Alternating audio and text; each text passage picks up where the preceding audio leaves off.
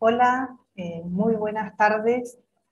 Esperamos que todas y todos estén muy bien.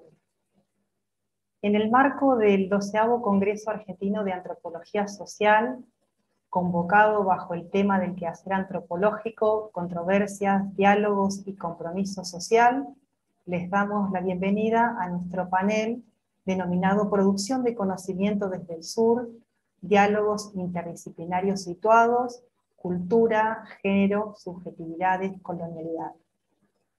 Antes de empezar con el desarrollo del panel, nos vamos a presentar brevemente. Soy Laura Teves, antropóloga y docente eh, de la Cátedra de Orientaciones en la Teoría Antropológica y Métodos en Investigación Social de la Facultad de Ciencias Naturales y Museo de la Universidad Nacional de La Plata. Soy investigadora del Laboratorio de Investigaciones en Etnografía Aplicada, al que también dirijo, y en el que se desarrollan proyectos sobre trayectorias de vida, infancia, vejeces, vínculos y redes sociales, organización social aplicadas a problemas prácticos en áreas como economía, salud y ambiente, en poblaciones locales y con proyecciones a las políticas públicas. Voy a coordinar el panel junto con mi colega, colega Sabrina Mora y para desarrollar la temática que hoy nos convoca, contamos en este espacio con dos invitados, destacados por su formación interdisciplinaria, sus trabajos y las reflexiones en la temática del panel. Ellos son Karina Vidaseca y Carlos Cuyen. Este panel lo vamos a abrir con el recuerdo de Alcida Argumedo, que inicialmente estaba invitada para formar parte del panel. Pero Alcira ya no está con nosotros. Su legado nos trasciende y desde este espacio la homenajeamos y reconocemos por su labor mediante un video que recorre algunos de los momentos más destacados de su trayectoria y que presentaremos en unos momentos. Les agradecemos a los especialistas por su interés en la propuesta del panel y desde ya esperamos escuchar sus contribuciones a la discusión del tema. También queremos agradecer al equipo de facilitadores tecnológicos que garantizan cada uno de los encuentros virtuales que se desarrollan durante el 12 CAS y en particular al acompañamiento para la organización y coordinación previas a este evento. Brevemente vamos a situarnos en la discusión y en el tema del panel. Para esto les proponemos compartir y plantear algunas ideas en común y analizar ideas divergentes, tomar conceptos y enfoques puntuales y concretos que esperamos poder intercambiar y discutir. También esperamos visibilizar perspectivas nuevas y creativas. En definitiva, abrir e integrar nuevos enfoques para pensar los temas y los problemas desde la producción de conocimiento en antropología social desde la interdisciplina. Las antropologías del sur surgen como una propuesta de integración y de visibilización de las antropologías que practicamos en América Latina y el Caribe. Son antropologías en ejercicio, que surgen haciendo investigación, actividades de extensión y que están presentes en el aula formando a centenares de estudiantes podemos partir de la idea de que las antropologías del sur definen la producción de conocimientos científicos como un proceso de creación cultural. Proceso que no debe ser analizado únicamente como sistema simbólico, no está restringido al mundo puramente del pensamiento, sino que podemos estudiarlo como proceso que contiene un sujeto, ya sea a las comunidades científicas como a otros sectores sociales existen también algunas tensiones sobre el tema, como aquellas que plantean la utilidad social del conocimiento interpelando los procesos mismos de producción del conocimiento. La pertenencia a la comunidad científico académica internacional que en muchos casos ha prevalecido por encima de la utilidad local del conocimiento. Todas estas discusiones se expresan en el desarrollo de una diversidad de antropologías que desde 1980 y a la actualidad se conocen como antropologías indígenas o nativas, antropologías nacionales e internacionales, antropologías del sur, antropologías periféricas, centrales, antropologías hegemónicas y subalternas, etnografías colaborativas, entre otras. Estas antropologías son espacios que actualmente continúan reflexionando. Recientemente, con el último Congreso de Antropologías del Sur 2020 en Argentina, se abordaron 15 ejes temáticos críticos que proponían explorar, entre otros, la asociación entre artes y antropologías del sur, compromiso sociohistórico político en las antropologías del sur, repensando la noción de clase, desigualdades y movimientos sociales desde una mirada geopolítica. Estos tres ejes de análisis y otros, en algún sentido, serán retomados por nuestros invitados y desarrollados desde, sus trayectorias y reflexiones críticas en el panel que estamos presentando hoy. Dejo a mi compañera Sabrina Mora para que se presente.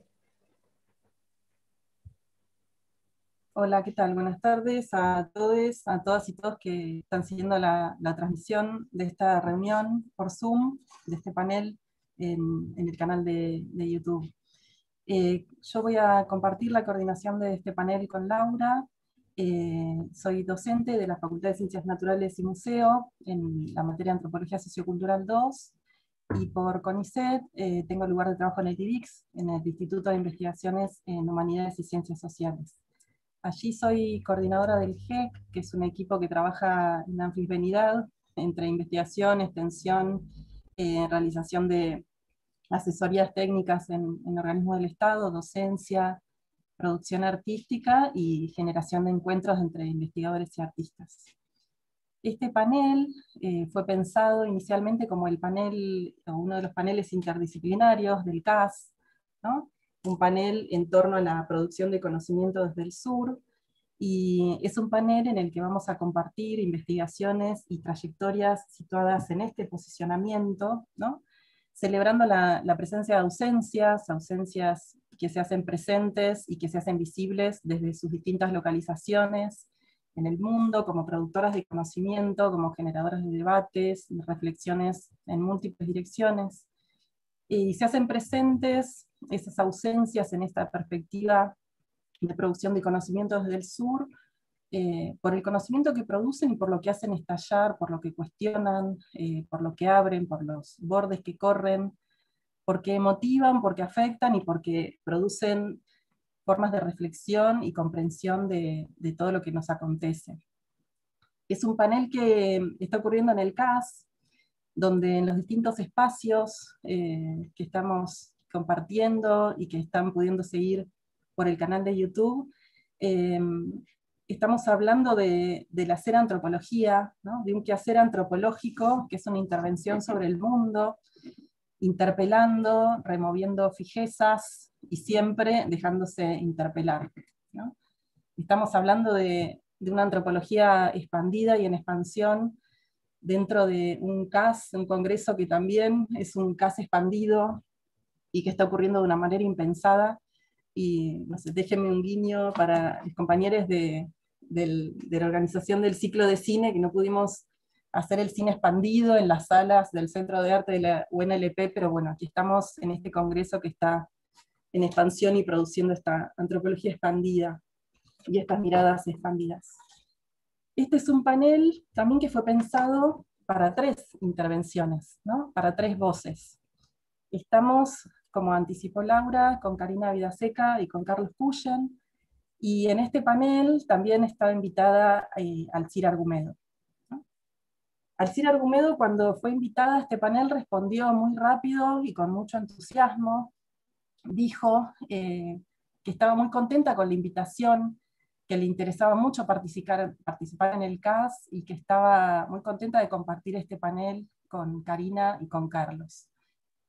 Nos dijo, estoy trabajando el tema raíces ancestrales del racismo en la cultura occidental y raíces ancestrales del humanismo en las tradiciones indígenas y populares de América Latina. Mi intervención sería alrededor de estas ideas. Eh, desde que leímos ese título nos quedamos con muchísimas ganas de escucharla y, bueno, la vamos a escuchar de distintas maneras, igual la seguiremos siempre escuchando.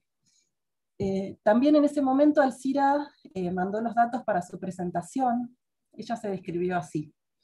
Leo lo que ella mandó socióloga, docente de la Facultad de Ciencias Sociales de la Universidad de Buenos Aires, investigadora del CONICET, ha escrito diversos libros y artículos, principalmente sobre temas de América Latina, de política internacional, de los interrogantes que plantea la revolución científico-técnica y de la actual crisis social caracterizada por un crecimiento exponencial de desempleo y la pobreza, en contraste con un crecimiento también exponencial de la concentración y polarización de la riqueza, que afecta especialmente al campo occidental y se conjuga con las amenazas del calentamiento global.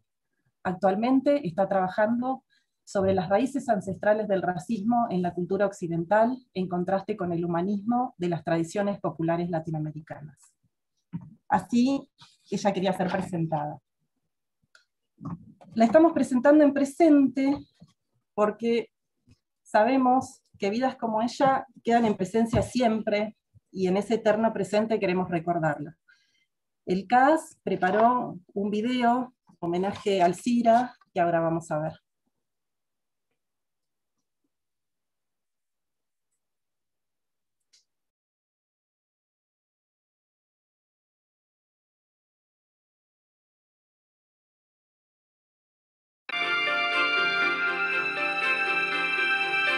América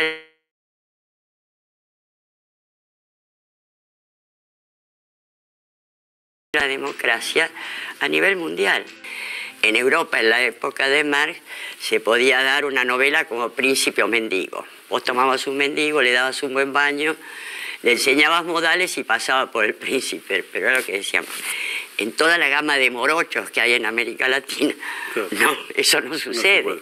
Y es una problemática étnico-cultural donde lo cultural como concepciones del mundo también es, es muy importante. Por lo tanto, necesitabas un pensamiento mucho más complejo. Y ahí empezamos a tomar, a hacer el ejercicio inverso. Si en, si en Marx, en Weber, en Hegel, vos tenías que ver los condicionantes histórico-culturales en los cuales pensaban y y evidenciar que había política en última instancia, no partidista, pero proyectos políticos, en América Latina había que hacer el ejercicio inverso. Desde los proyectos políticos que se gestaban en América Latina, ¿cuál era el potencial teórico de eso? El levantamiento de Tupac Amaru y Tupac Katari y la revolución negra haitiana van a ser levantamientos de los sectores más despreciados y dominados desde la conquista española en adelante y que plantean una reivindicación radical que va a ser verdaderamente uno de los antecedentes más importantes de la independencia, precisamente por la radicalidad de sus demandas. América Latina fue el primer país del mundo donde se elimina la esclavitud en el, occidente central tenías la Revolución Francesa, donde la libertad, la igualdad y la fraternidad eran para los blanquitos franceses. Para las colonias y los esclavos era otra cosa. Hay que pensar que entre 1900, el fin de la Segunda Guerra y comienzos de los 70, el 80% de la población mundial, que en los cuatro siglos anteriores había estado sometido a dominios coloniales o neocoloniales, comienzan los procesos de liberación nacional y social, de descolonización, los gobiernos populares y las revoluciones en América Latina, y con todo un movimiento intelectual. Pensá que era el Che Guevara, este, el tema de Franz Fanon, todo un movimiento intelectual que va a tener gran impacto incluso en el mundo central. Y en ese marco, en el marco de eh, la revolución del tercer mundo en Argentina, que fue para mí el peronismo, eh, emerge la problemática de la, rama femenina, el tema de empezar a este, el voto, el voto femenino, etc. Y esto se eh, profundiza aún más en los años 60 que es el momento de auge del movimiento del tercer mundo. Vos pensás que es la revolución cubana, la revolución este, eh, argelina, este, los movimientos de, descolonización en África. Entonces, y es ahí donde viene un nuevo, un nuevo, protagonismo de la mujer. Un nuevo protagonismo ya con una mayor liberalización.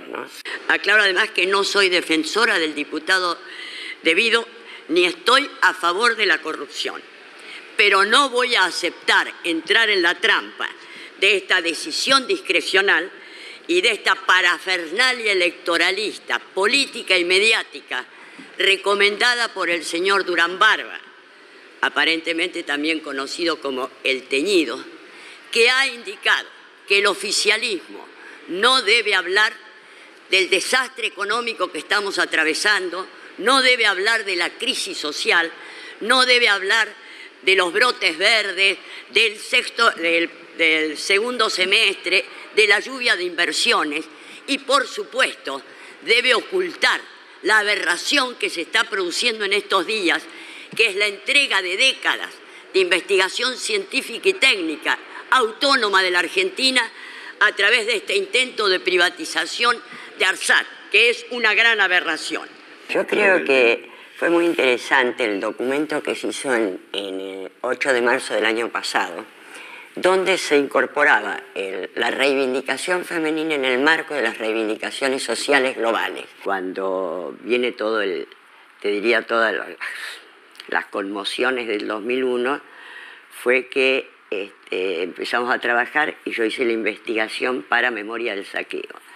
Que es lo que siempre digo, ¿no? Este, Memorias en Saqueo se estrenó en el 2003, eh, es decir, antes de que se iniciara el gobierno kirchnerista. Era espectacular el saqueo que había en esta sociedad. Está la monstruosidad del gobierno Macri, que este, uno no duda en superar las antiguas diferencias, más allá de que se puedan debatir. Acá no estamos discutiendo una cosa de la hidrovía, estamos discutiendo qué modelo de país, qué análisis se hace de lo que fueron estos 40 años de hegemonía neoliberal en la Argentina y a nivel internacional y cuáles son las salidas posibles que se dan. La pandemia no hizo sino detonar y profundizar la crisis del neoliberalismo que ya se insinuaba. En Inglaterra con el Brexit, que es consecuencia del grave deterioro económico de Inglaterra con el libre comercio, etc. En Francia los chalecos amarillos y las huelgas sistemáticas. En, Italia y en Alemania la caída del nivel medio de vida que ha alimentado eh, movimientos neofascistas y neonazis este, en Estados Unidos, Estados Unidos que se vuelca con Trump a el proteccionismo y antes de la pandemia ya estaban en América Latina en crisis Colombia, Perú, Ecuador, Chile y Argentina. Me da la sensación que no se tiene suficiente conciencia del carácter civilizatorio de la transformación que estamos este, atravesando y de las tendencias catastróficas que se dan a nivel mundial, que es la tendencia al calentamiento global y la crisis social, ¿no? el crecimiento exponencial de la pobreza, este, el desempleo y la polarización y concentración de la riqueza, sobre todo en el campo occidental. Y esto me parece que no está registrado en la ciencia social. Ella tuvo la generosidad de venir a darnos formación política a Moreno cuando yo no era intendenta. Eh, nosotros siempre trabajamos en un espacio de formación y antes de la pandemia, Alcira la veníamos a buscar todos los sábados a su casa, después la llevábamos y compartía con nosotros bueno, sus conocimientos, su tiempo, una generosidad y una humanidad admirable. Una excelente persona que además siempre fue consecuente en la lucha antiimperialista. La verdad que no siempre se da que haya esa humildad cuando hay tanta inteligencia y tanta sensibilidad. Es, una mujer de una integralidad como militante, como intelectual, salida del pueblo y, en la relación con los demás. Así que yo la recuerdo así, pero bueno, es un lugar, es un momento eh, muy emotivo, muy emotivo.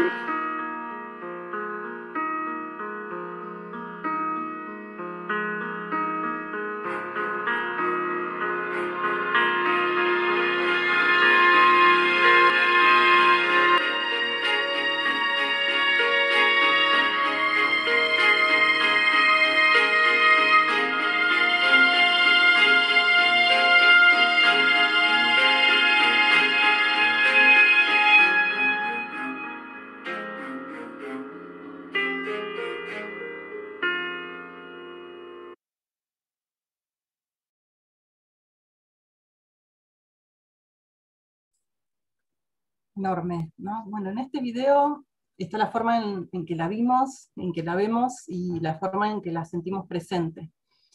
Es la misma forma en la que seguimos estando con Horacio González.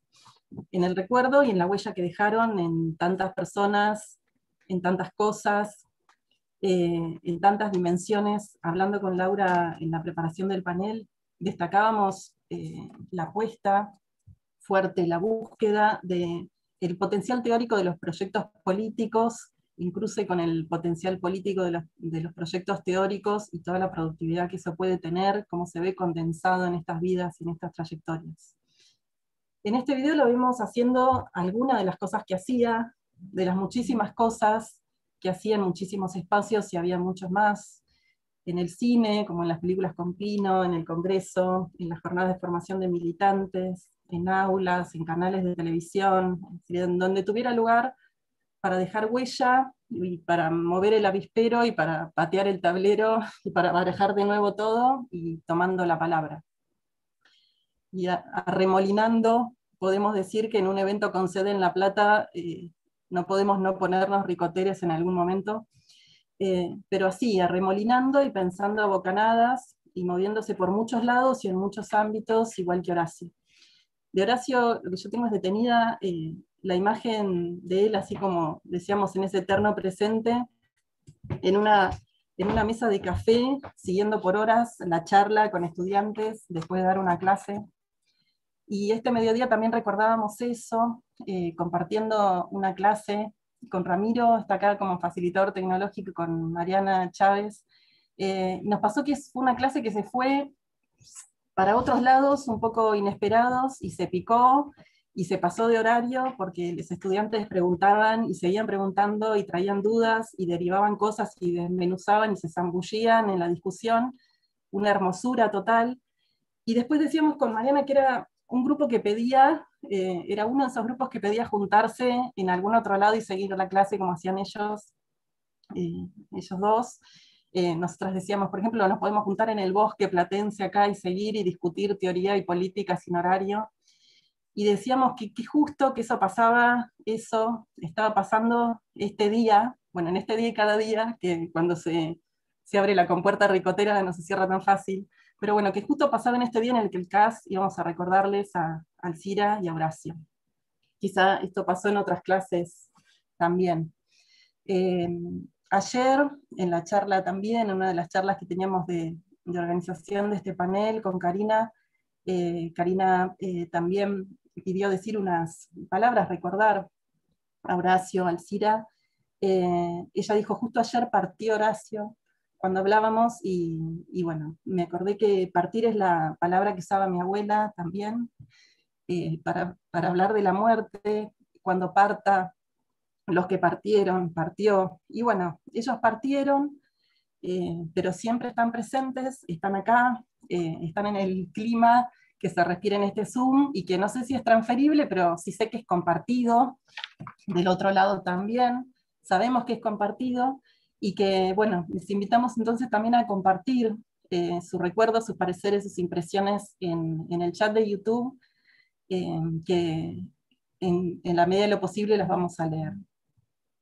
Bueno, eh, voy a dar la palabra a las exposiciones, a la presentación que Laura va a hacer de Karina Vidaseca y de Carlos Puyen, y, vamos a seguir discutiendo, pensando, reflexionando, eh, que es esta siempre la apuesta.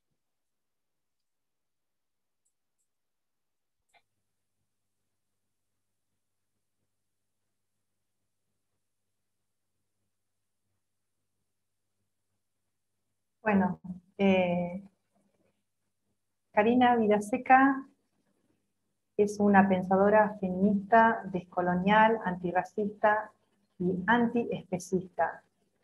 Es becaria del Fondo Nacional de las Artes por Pájaros del Océano, Ana Mendieta, una plataforma para descolonizar el arte y el feminismo.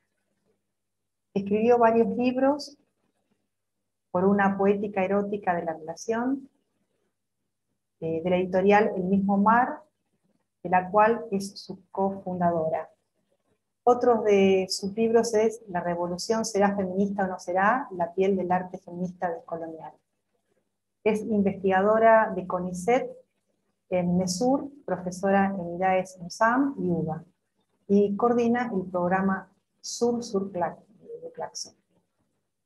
El título de su presentación, de su ponencia, eh, se denomina La piel y la cicatriz colonial en las obras de las artistas Sigaret Landó, Emily Hassir y Shirin Nehat. Karina, el espacio es todo tuyo. Hola, ¿cómo estás? Eh, Laura, Sabrina, compañeros, eh, Carlos, es un placer, un honor inmenso estar aquí y pensar en, que podamos eh, hacer un homenaje a, a, dos de los profesores que han sido nuestros en la carrera de Sociología, en la Facultad de Ciencias Sociales, tanto el CIRA, Argumedo como Horacio, y les pido disculpas, pero es, es, muy fuerte pensar que estamos viviendo estas pérdidas eh, continuas en un duelo permanente de, de, grandes profesores que han vivido realmente en otros mundos, ¿no? Cuando uno piensa la trayectoria tanto de Alcira como de Horacio, y me gustaría atravesar eh, siendo estudiante cuando comencé en los años fines de los años 80 la carrera y nos encontrábamos en plena emergencia democrática y, tener, haber tenido el lujo, el, regalo de haber pasado por las clases de, ambos, creo que es realmente es, es, muy fuerte, ¿no? Uno a veces se pone a pensar mucho cuál es el legado para, para nuestros estudiantes, ¿no? Eh, tratándose de, de personalidades y personas tan seres de luz, no realmente seres brillantes intelectualmente, sensibles como ellos, ellas, y, con la apuesta que hace nuestra carrera de sociología de la Universidad de Buenos Aires o ha hecho eh, siempre en, apostar a la transformación del mundo. ¿no? Entonces, yo hoy repasaba brevemente la, biografía de Alcira, eh, alguien que llega desde Rosario a Buenos Aires y, obtiene su, licenciatura. Yo aún no había nacido, en el año 1965, como la graduada número 28 de nuestra carrera. Y luego también incorporarse como ayudante de la materia de sociología sistemática que en ese momento estaba a cargo de un maestro mío en sociología rural que es Miguel Murmis y Eliseo Verón también y Juan Carlos Portantiero, ¿no? Luego también haber atravesado el golpe de estado de Onganía, que llevó a la noche trágica de los bastones largos y a la salida de, de Alcira, también al exilio en México. Y luego también ser parte de ese momento tan tan maravilloso que, que, habrá sido, ¿no? Uno lo imagina porque yo era muy bebé en ese momento, parte del cine de la liberación y ser ella, y también Pino y también Horacio, parte de esa teología de la liberación, de esa filosofía de la liberación y de esos eh, grupos culturales que, que, informaban acerca de este tercer mundo y en esos momentos también pensar eh, películas como las de Pino Solanas, La Hora de los Hornos, que recuerdo siempre, fue una de las primeras películas que me tocó ver cuando estaba en el CBC, allá en arquitectura, cuando comenzaba el CBC en sociología y, arrancaba en plena democracia lo que había sido esa primavera, ¿no? Eh, luego también pensar en ella, que también había contribuido fuertemente justamente con Horacio González y con Roberto Carri. Roberto Carri, un desaparecido de, la dictadura, un gran profesor de sociología, ¿no? Eh, su estudio sobre los bandoleros, ¿no? sus libros eh, clásicos ¿no? acerca de los bandoleros sociales ellos habían sido parte de lo que fueron las cátedras nacionales, ¿no? En la Facultad de Filosofía y Letras de la UBA entre los años 68 y 74.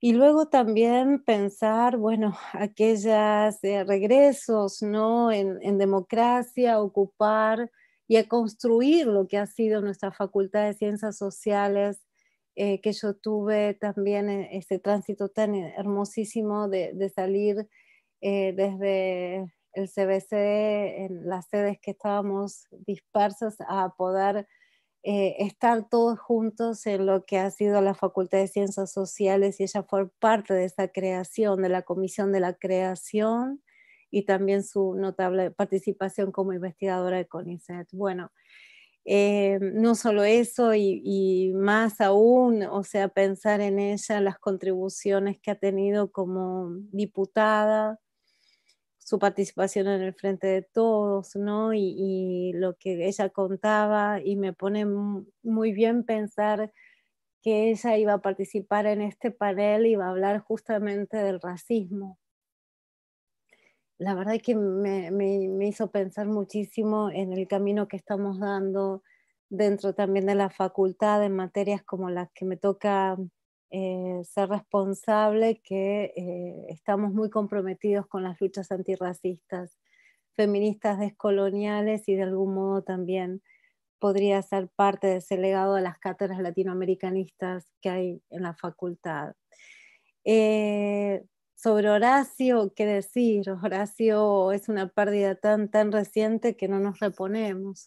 Realmente nos ha derrumbado pensar que que se ha ido Horacio y, lo que representó Horacio como gran figura en los últimos años. Eh, con un colega amigo, Alejandro de Otto, siempre nos recordamos una anécdota que habla mucho de su generosidad, o sea, más allá de haber sido uno de los profesores excepcionales en la carrera de sociología, siempre recuerdo un día, yo era muy jovencita, en los pasillos de, sociología ya en el CBC que aparece Fito Páez de la nada, ¿no? Y toda la gente lo miraba y decía, ¿dónde salió Fito Páez?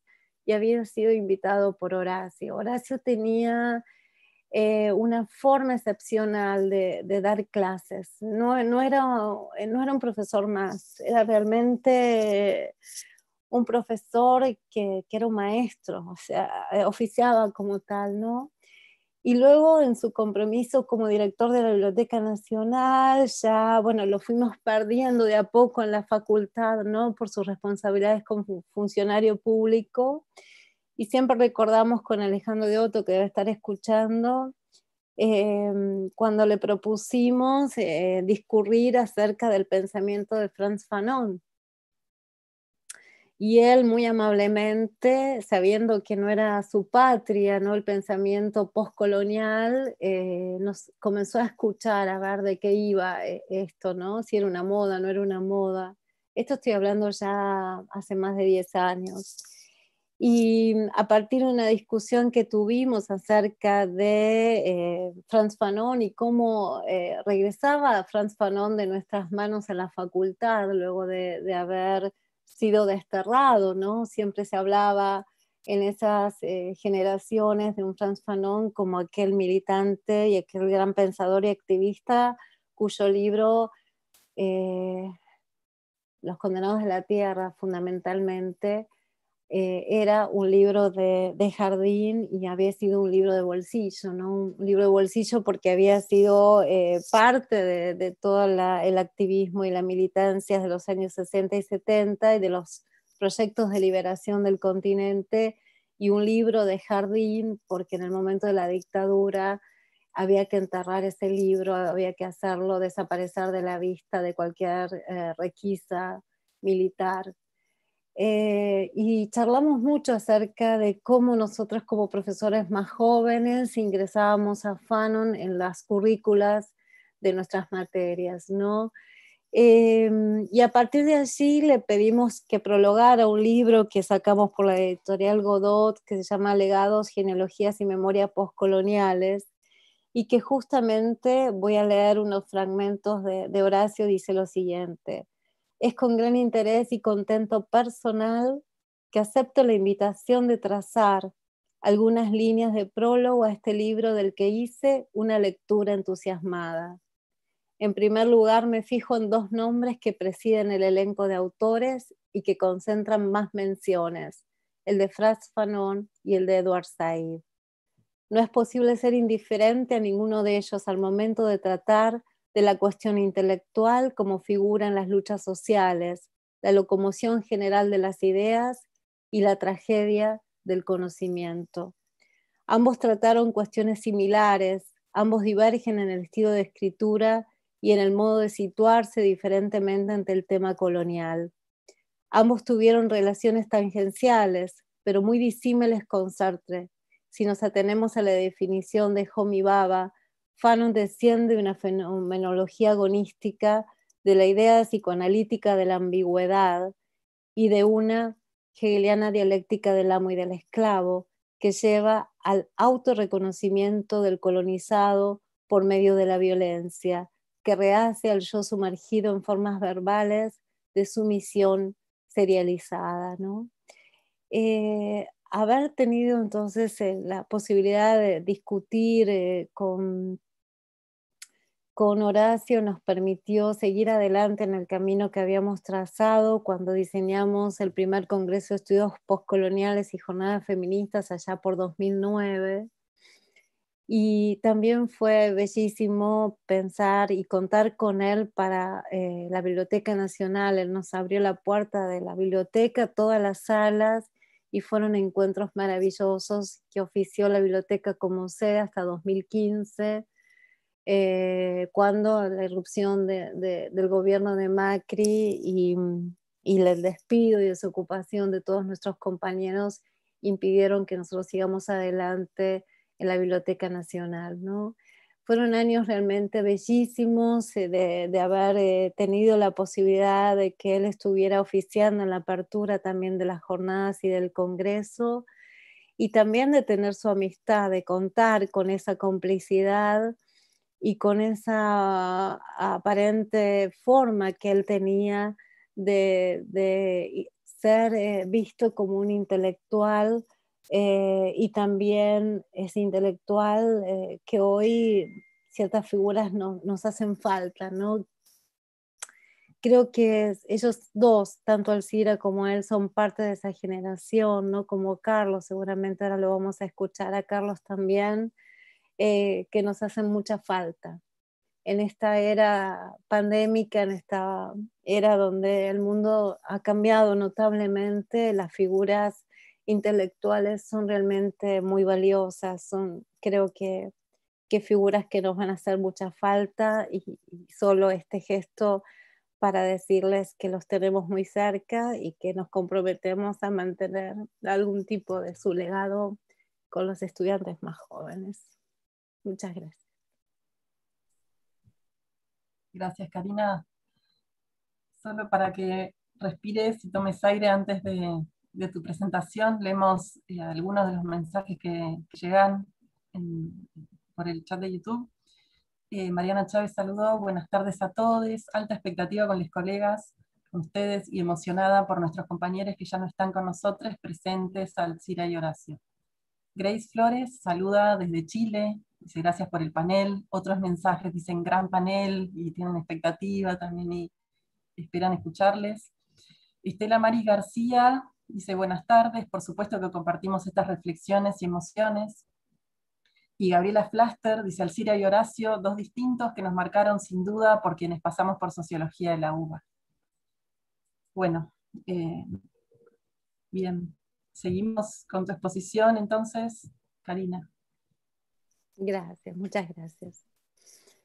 Em, a mí me gustaría presentar eh, parte del último trabajo que es sobre la investigación de Ana Mendieta y de su estética y cómo también es posible trabajar en esos cruces transdisciplinarios y me voy entonces a encaminar hacia esa dirección, voy a compartir un PowerPoint, ustedes me dicen si se ve bien, a ver si voy a poner pantalla completa, no sé si aún está, creo que no.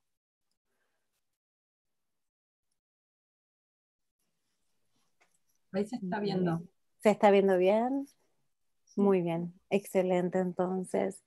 Eh, me gustaría concentrarme en la posibilidad que nos brindan eh, las, las formas transdisciplinarias de pensar cierta descolonización, como le llamamos desde las epistemologías del sur, apelando a Boventura Sousa Santos y María Paula Meneses, eh, respecto de cómo se puede descolonizar o cómo es posible descolonizar cierto imaginario estético occidental y cómo también es posible pensar desde lo que llamamos prácticas eh, artísticas, artivísticas, performáticas situadas en el sur eh, a partir de em, esta vinculación entre cuerpos y memorias, ¿no?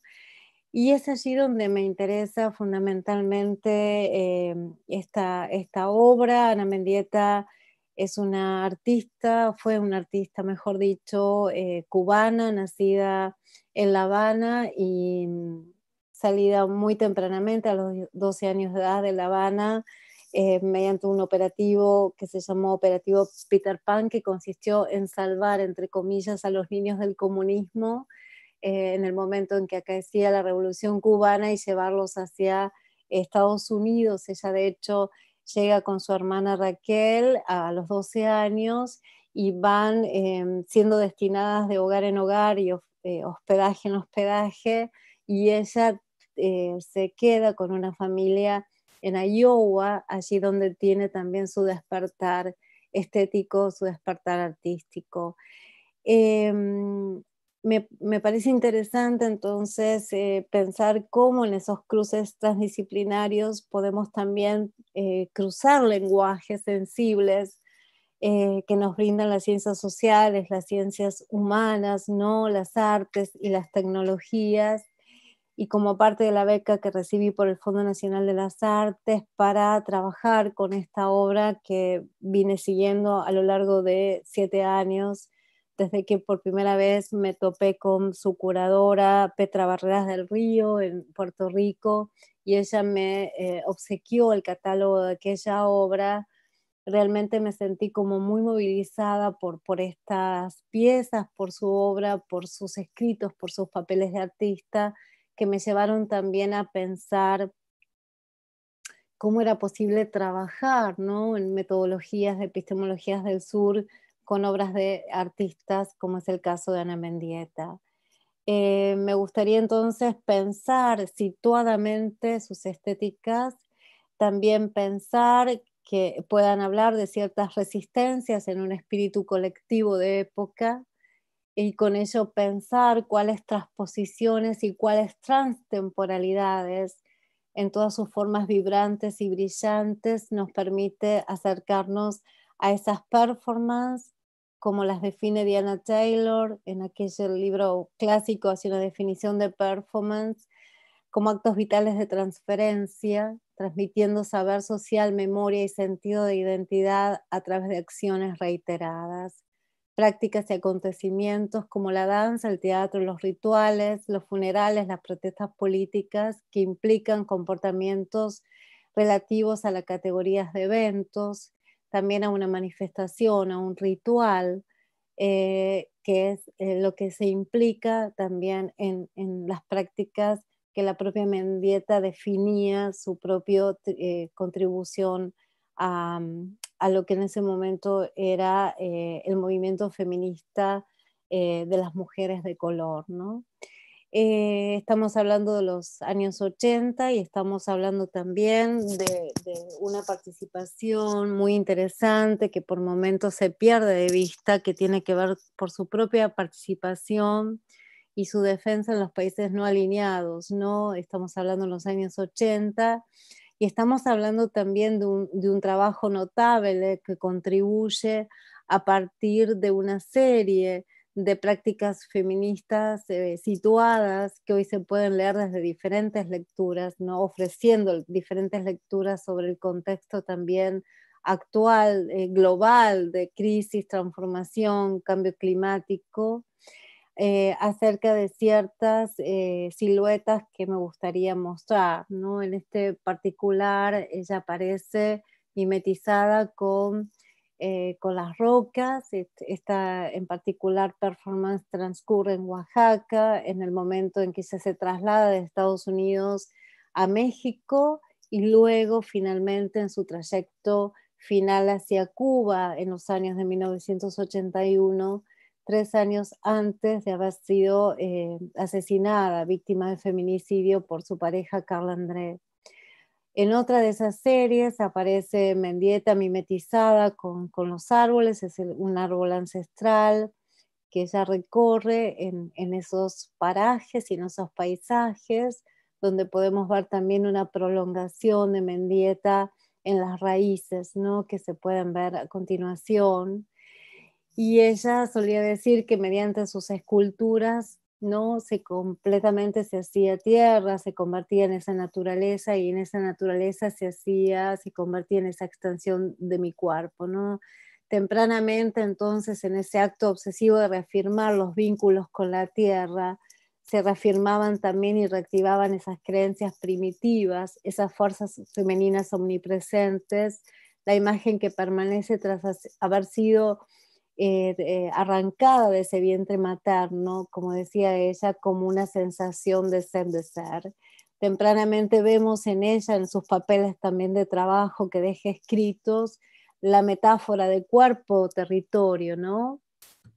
Una metáfora que permite justamente trabajar eh, sobre esta estética pero también otras siluetas que aparecen muy volcadas a la idea de la mimesis con el paisaje, que son aquellas que están ligadas a Oshun. ¿no? Oshun es una, mm, es una eh, parte de estas siluetas que vemos aquí, por ejemplo, eh, son grabados en piedras calizas o en este caso sobre la arena, donde lo que podemos ver son siluetas que tuvieron mucho que ver con las deidades afro eh, de origen yorubás, eh, a partir de las investigaciones que ella misma realiza, ¿sí? cuando ella intenta regresar a Cuba, eh, allá cuando ya tenía 32 años de edad. En ese regreso, que ella le teme tanto también, comienza también a plasmar fuertemente estas series en las cuales se hace ver que esas deidades están muy destacadas esas vaginas, ¿no? Y los nombres a los cuales ella acude tienen mucho que ver también con las orillas y con la religiosidad afro eh, cubana, sí, que tiene que ver, por supuesto, con el legado africano en la isla, ¿no? Eh, Ana Mendieta solía decir, ahora yo creo en el agua, en el aire y en la tierra. Ellos son todos deidades, ellos también hablan. Estoy conectada con el proceso del agua dulce, ¿no? Esta conexión con el agua me parece que es muy interesante. ¿Por qué? Porque justamente en varios de sus trabajos podemos ver los elementos que sean tierra, agua, fuego, como en este caso, que son sus siluetas, o el agua, siluetas que ha dejado también en el mar. Es una silueta realizada también con tintas rojas y con sangre ella utilizaba la sangre como un poder mágico, no con connotaciones negativas, sino como una forma de desmitificar no fuertemente el discurso sí acerca de las que las mujeres sangramos pero no morimos, pero también los discursos religiosos acerca del sangrado femenino siempre en sus connotaciones negativas, ¿no? Em, hay una en particular que es muy similar a esta, que se llama Oshun, que está rodeada de agua, donde aparece una escultura de tierra frente a las costas de Key Biscayne en el extremo sur de Florida y que emerge como una silueta de arena en un video de 8 minutos 30, en los cuales desde el cielo la propia artista cubana eh, con su silueta adopta la forma geográfica de la isla mayor de las Antillas del Caribe, que es Cuba. Esa también, esa... Mm, ah, eh, situación de, utilizar el, elemento del, agua es realmente muy interesante, ¿no? Pensemos en que cada imagen es memoria y cuando observamos el mapa de Cuba podemos ver la forma del agua. La madre de las aguas, también llamada madre de agua o magui, es una mítica criatura, una serpiente guardiana de los ríos, cuya leyenda suele ser escuchada en la isla. Me gusta mucho entonces vincular la forma vibrante de Oshun con Ana Mendieta. La artista es también esa forma vibrante que perfora esos muros erigidos entre la disociación de naturaleza-cultura, que es propia de esa modernidad extractivista, capitalista y occidental, ¿no? Eh, Mendieta, si la pudiéramos ubicar, yo diría que se ubica en esa zona de transmutación entre lo humano y lo no humano, entre el animal, para expresar el fracaso de la modernidad en asegurar nuestra permanencia en la Tierra. Karina, discúlpame que te corto, pero no estamos viendo el PowerPoint. Ah, qué extraño. Eh, me, había quedado, seguramente se quedó tildado porque me había quedado con una imagen mucho tiempo. Eh, voy a intentar a ver si. Sí, ¿ahora sí o no? No, creo que no. A ver si se dejó de ver. ¿Se ve ahora? Se volvió. Sí, ahora estamos viendo, perfecto. Claro, porque cuando uno deja como mucho tiempo eh, congelada la filmina, se ve que se, queda allí. Era la imagen que estaba mostrando, ¿no? Eh, me parecía que el, el, elemento del agua es un elemento fundamental también en Mendieta, como es el aire, como es el fuego, eh, como son los elementos con los cuales ella viene a construir fuertemente esa posibilidad de pensar la conexión con las galaxias, ¿no? Ella decía que en la última parte de, su, de, su, práctica artística era un ritual. Ella ofrecía ¿no? esa práctica artística como un ritual y también como una posibilidad de pensarnos en África. ¿no? Hay todo un recorrido muy interesante que yo analizo la obra de Mendieta, que hasta el momento no la había encontrada, que es la búsqueda de, de África en Mendieta, que tiene que ver también con esos orígenes ñáñigos de las sociedades secretas y también con la utilización, por ejemplo, de los gallos, ¿no? En esta particular que se llama Muerte de un gallo, que es del año 72,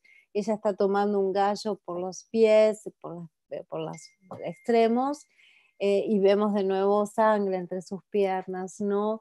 y es un gallo que ha sido em, desgollado, ¿no? Y muchas de las acepciones acerca de esta significativa imagen tuvieron que ver con aludir fuertemente al patriarcado. De hecho, Mendieta es un artista que encuentra una referencia muy explícita a lo que ha sido la posibilidad de pensarse ella misma como una latina y también como una latina que ha sido exotizada, ¿no? Y eh, se ha visto como una mujer de color cuando cruza la frontera entre Cuba y los Estados Unidos ella se, eh, eh, identifica con las mujeres de color y de ello contribuye con las primeras galerías de lo que han sido la construcción de esas galerías eh, que fueron dirigidas por las primeras artistas afroamericanas que no tenían lugar en las galerías de arte y tuvieron que convocar galerías propias para las artistas de color, ¿no?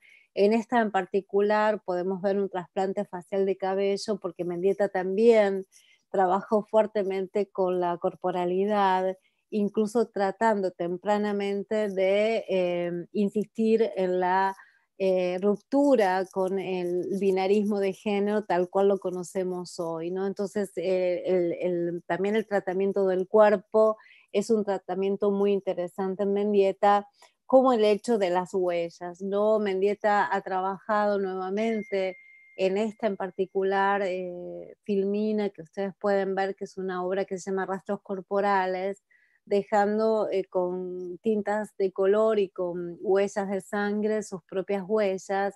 Y es muy interesante ver cómo ella plasma esas huellas.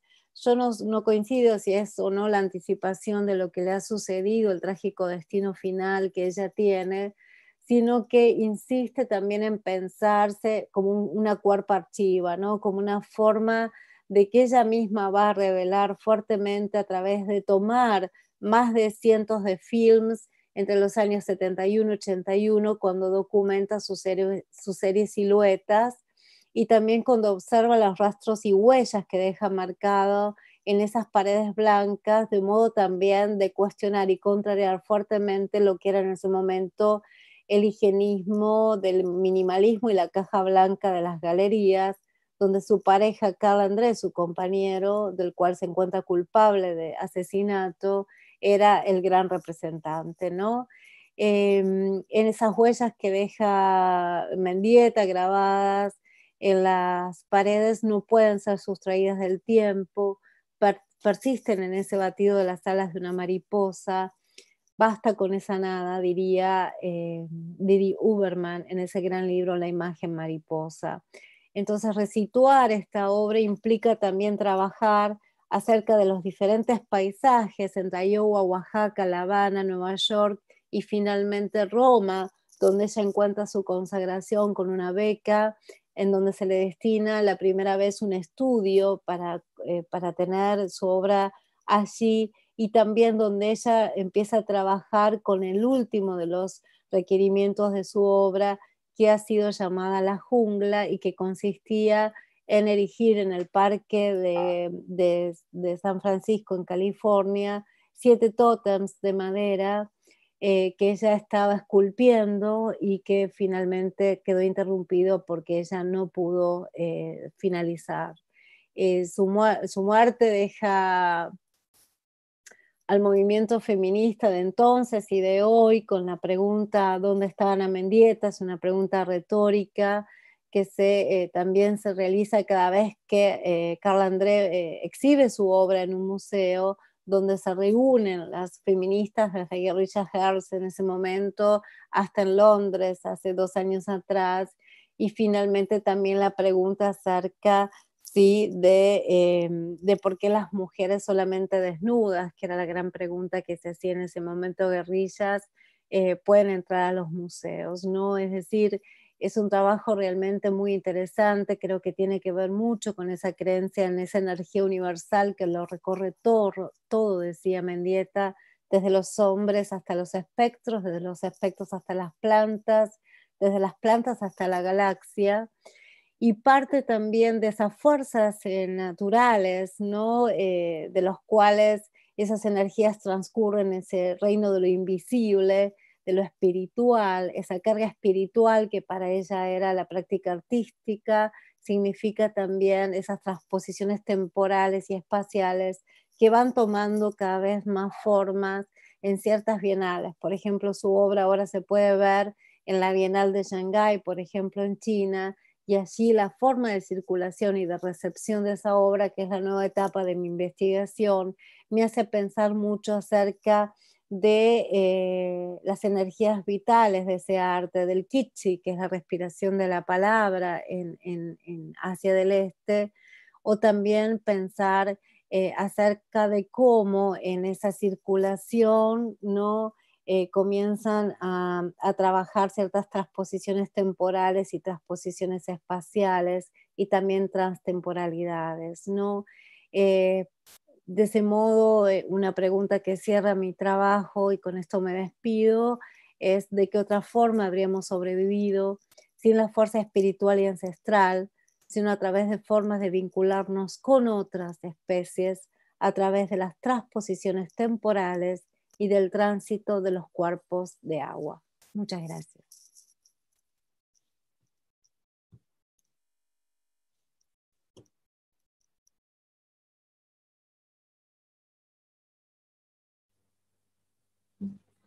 Muchas gracias, Karina. Vamos a dejar las preguntas eh, para el final. Vamos a, presentar ahora a Carlos Cuyen y escuchar su presentación y luego eh, vamos a las preguntas. Yo ya estuve anotando algunas. Bueno, eh, Carlos Cuyen es doctor en filosofía de la UBA, profesor en la UBA durante 26 años, eh, de ética y filosofía de la educación. Eh, es autor de 12 libros y numerosos artículos. su producción se inicia en 1978 y se enmarcan en temas filosóficos como la fenomenología de la moral aplicada al saber y a la experiencia de los pueblos, eh, reflexiones desde nuestra América, autonomía moral, participación democrática y cuidado del otro, bases para un currículum de formación. críticas de las razones de educar, temas de filosofía de la educación y ética donde habitas, entre muchos otros. Fue también profesor en el grado, profesor de posgrado, en maestrías y doctorados en todo el país, en, América, en España, Italia, Francia y Alemania. En este momento está jubilado, tal como él se, presenta, pero eh, está aquí con nosotros en el doceavo caso.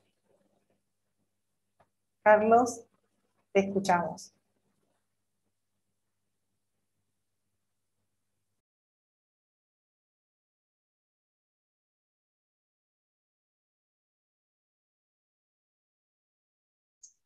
Hola, hola, ¿me escuchan?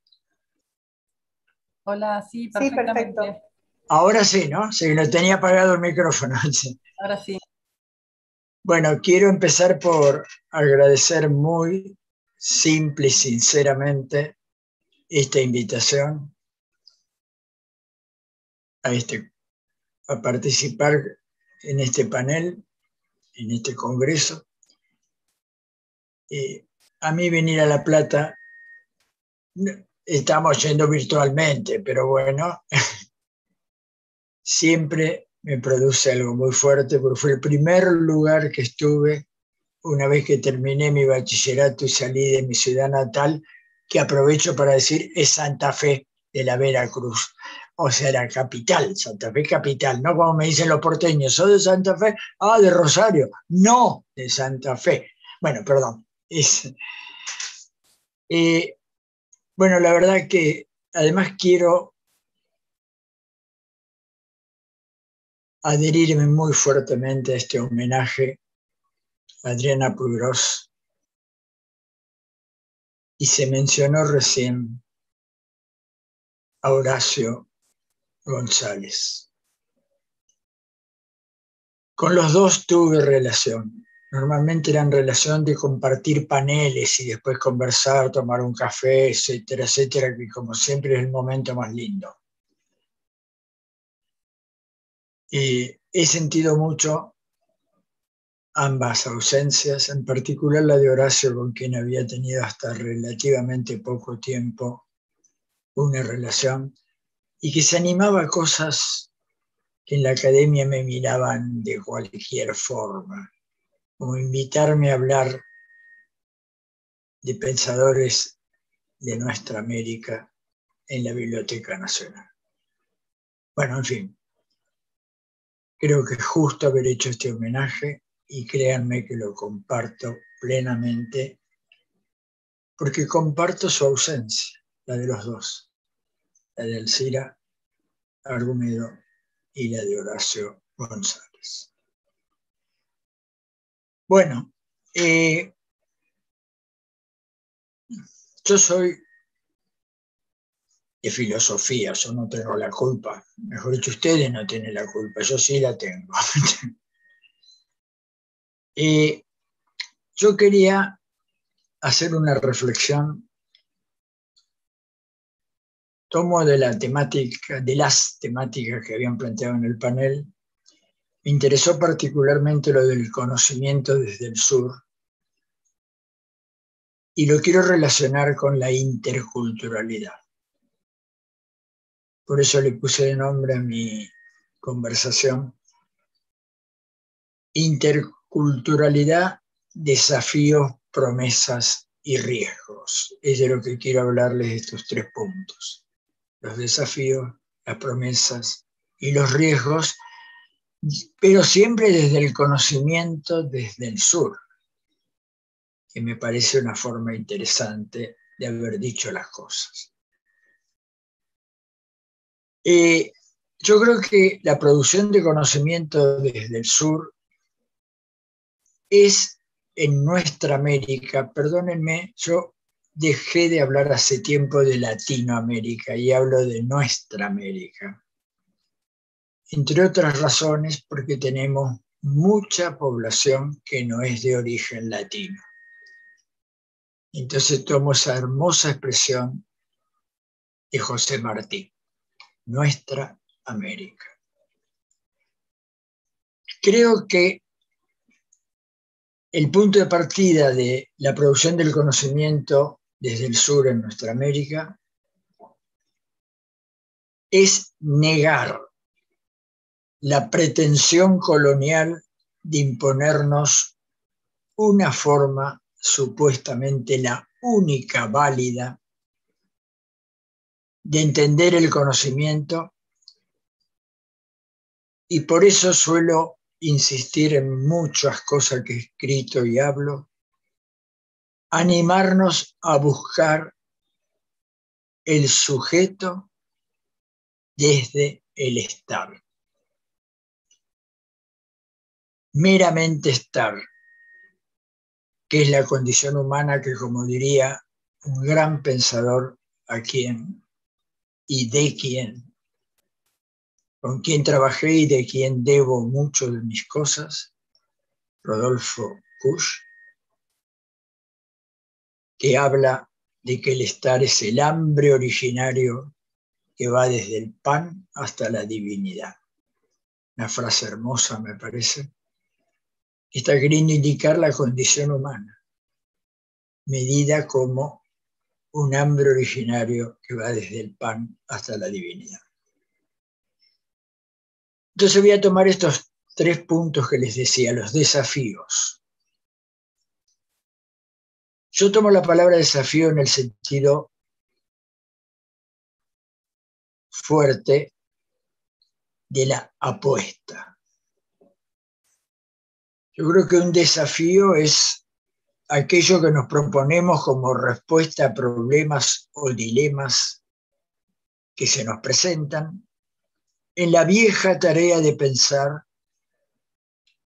lo que es o lo que queremos que sea.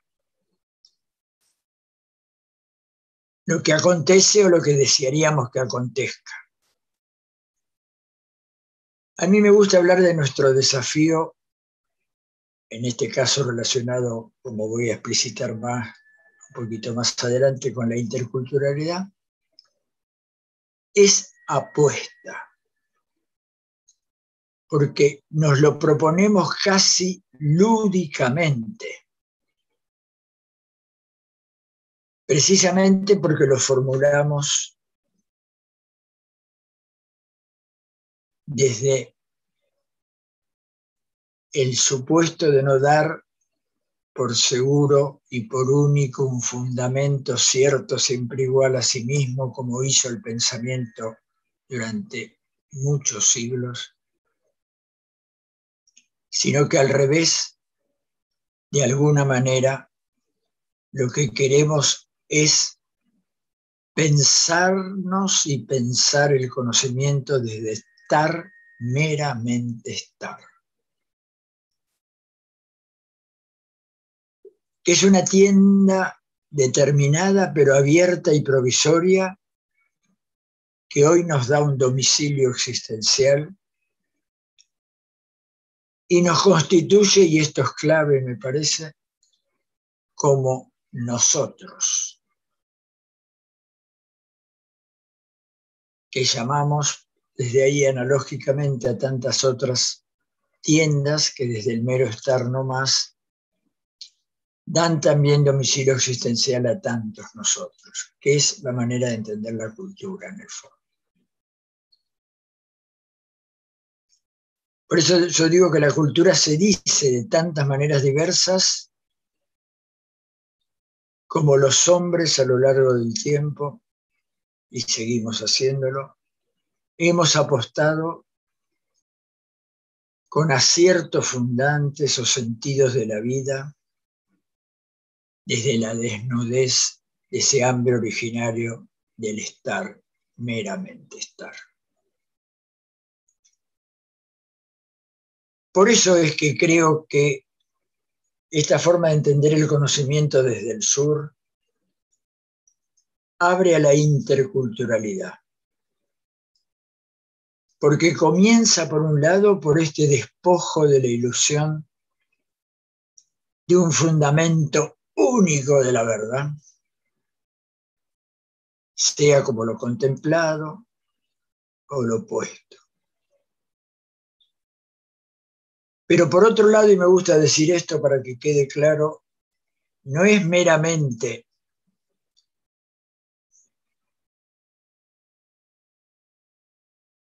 esto que nos abre a la interculturalidad, no es meramente el reemplazo de la certeza por la incertidumbre.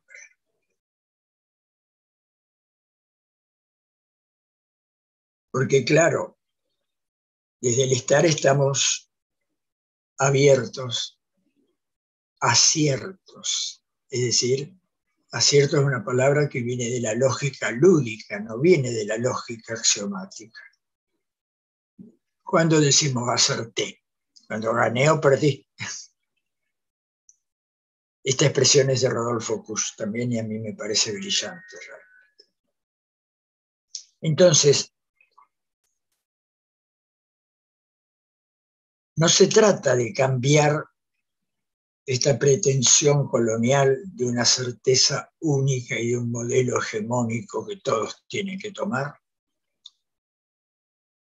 por creer que tenemos que caer en una especie de incertidumbre, de no saber qué hacer o algo con el estilo. En realidad, en este sentido, el desafío es pensar desde el estar meramente estar. Y esto implica transformar el conocer en una cultura o en diversas culturas que han encontrado su sujeto, pero justamente no como el fundamento inconmovible de la verdad, ni tampoco como un fundamento abismal, estas son citas de filósofos, pero no les quiero complicar la vida, sino como meros aciertos fundantes resultado de la búsqueda de sentidos para vivir. Bueno, esto es una obsesión que la manejo fuerte y, también la maneja muy fuerte el pensador que mencioné recién, Rodolfo Kusch, que es la distinción tan paradójica en nuestra lengua de ser y estar. Todas las formas conjugadas del verbo ser en español vienen, como casi todos nuestros verbos, de las formas correspondientes del latín. Yo soy, ego sum, yo era, ego eran, bla, bla, bla. Hay una sola excepción, el infinitivo. ¿eh? El infinitivo. Ser. Ah, claro, los filósofos escuchamos esa palabra y se nos iluminan los ojitos. Ser no viene de cómo se dice ser en latín. Viene de otro verbo latín, que es sedere, estar sentado. De aquí no me mueve nadie. En cambio, y esto es conocido por todos los estudios lingüísticos hoy día, al estar sentado se opone el estar parado, el estar de pie, el estar dispuesto a caminar y no creer que ya no tenemos nada que hacer. En este sentido, Creo que esto es clave porque el conocimiento desde el sur, justamente desde esta idea, está abierto a lo intercultural, porque es capaz de comprender otras formas que desde otras memorias históricas buscan también el acierto fundante de sentido para la vida. Entonces, el desafío es saber estar, meramente estar. Y me parece que la producción del conocimiento desde el sur nos aporta mucho a esta idea. Codo a codo con los otros, y apostando a esos aciertos que fundamentan una cultura. Pero una cultura que es de una comunidad, está siempre abierta a nuevas apuestas y consciente de lo provisorio y lúdico del acierto fundante. Para ser más claro, creo que el conocimiento desde el sur se abre a lo intercultural porque entiende que pensar no es, conocer y pensar, no es como buscó imponer el colonialismo, un sustraerse a la contingencia, sea aludo para que quede tranquilo mi superso filosófico, ¿eh? a la forma que se planteó. Somos parientes de las ideas, decían los griegos. O porque nos constituye una racionalidad que más allá de toda experiencia sostiene todas las experiencias posibles. Esta fue la ilusión. En cambio, la filosofía intercultural empieza cuando estamos, meramente estamos, con este hambre, perdón que lo repita, que va desde el pan hasta la divinidad. Y desde este estar hambriento nos encontramos y entonces si dialogamos desde la simetría que nos da el mero estar, o sea, todas las culturas parten del mero estar, porque es la condición humana. y hay diferencia, pero a partir de aquí podemos aprender los unos de los otros. En este sentido, creo que pensar interculturalmente es estar convencidos de que la razón está siempre contaminada por los contextos.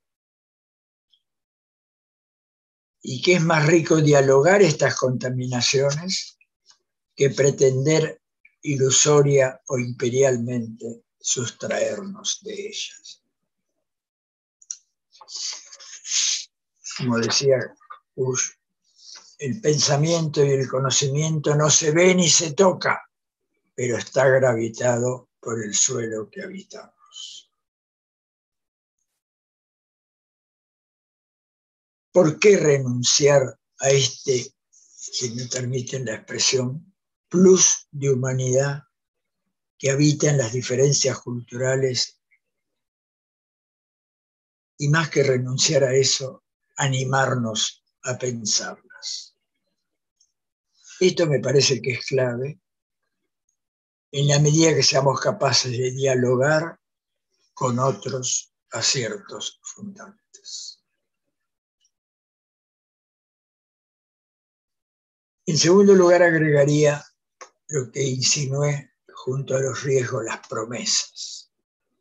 ¿Se acuerdan que enuncié riesgo y promesas? Y después vamos a hablar todavía de algo más.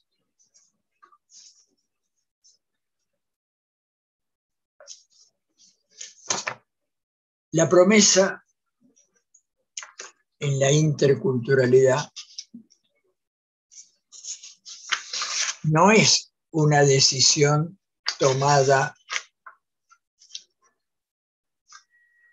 desde la identidad pensada como totalidad,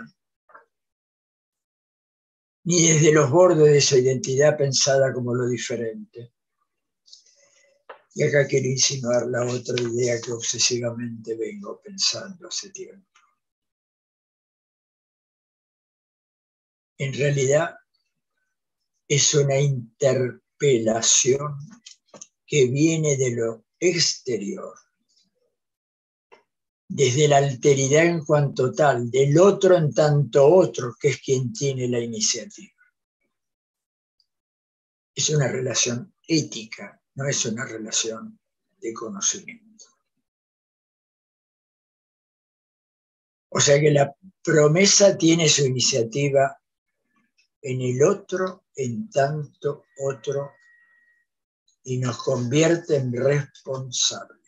Es decir, somos capaces de responder. Creo que es lo que quiere decir la palabra. Si somos responsables quiere decir que somos capaces de responder. Pero vamos a ver que somos capaces de responder si alguien nos llama, nos interpela.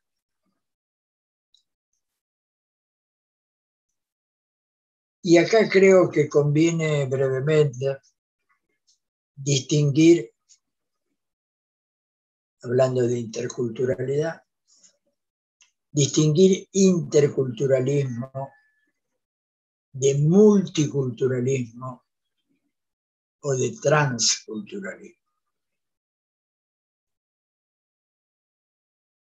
Para muchos, diálogo de culturas es sinónimo de multiculturalismo, que es una expresión que apareció en Estados Unidos allá por los años 80 y que significaba de alguna manera, bueno, por fin reconocen que hay otras culturas, hay muchas culturas.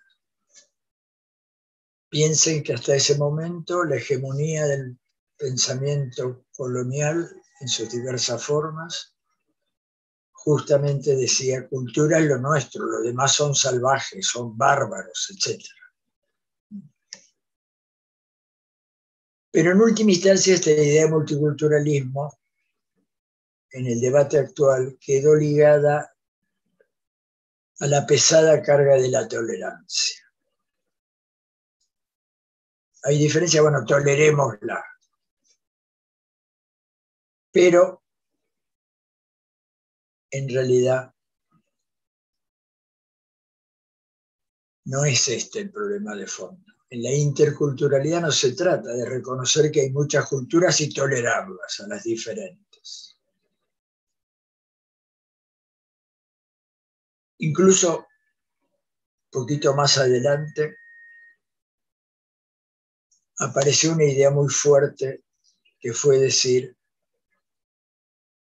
ya a partir de los años 90 fue más fuerte, del siglo pasado,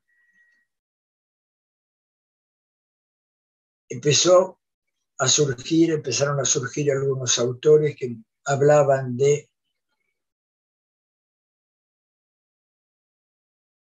lo que está en juego al hablar del diálogo de las culturas es una abstracción, porque en realidad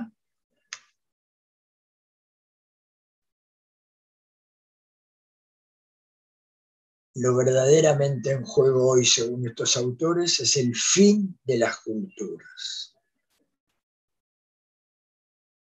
Porque se supone que sus supuestos, la territorialización, la lengua y las creencias comunes, los valores compartidos por la autoridad de una tradición, etc., han pasado a ser estorbos para la dinámica supuestamente de una sociedad global abierta a una infinita diversidad de culturas posibles, porque no está sujeta a ningún territorio en particular, ni a ninguna lengua ni creencia en particular. Esta es la ilusión. Yo creo que quienes piensan así arriesgaron una idea señalo esto porque puede ayudar, ¿no? O sea, estamos hablando de interculturalidad desde el conocimiento desde el sur. Lo estoy distinguiendo de un multiculturalismo y mera tolerancia. Y los que radicalizaron más esto cuando hablan del fin de las culturas, hablan de una transculturalidad. O sea, como que ya no hubiera más eh, no estoy inventando, estas cosas se dieron y se discutieron.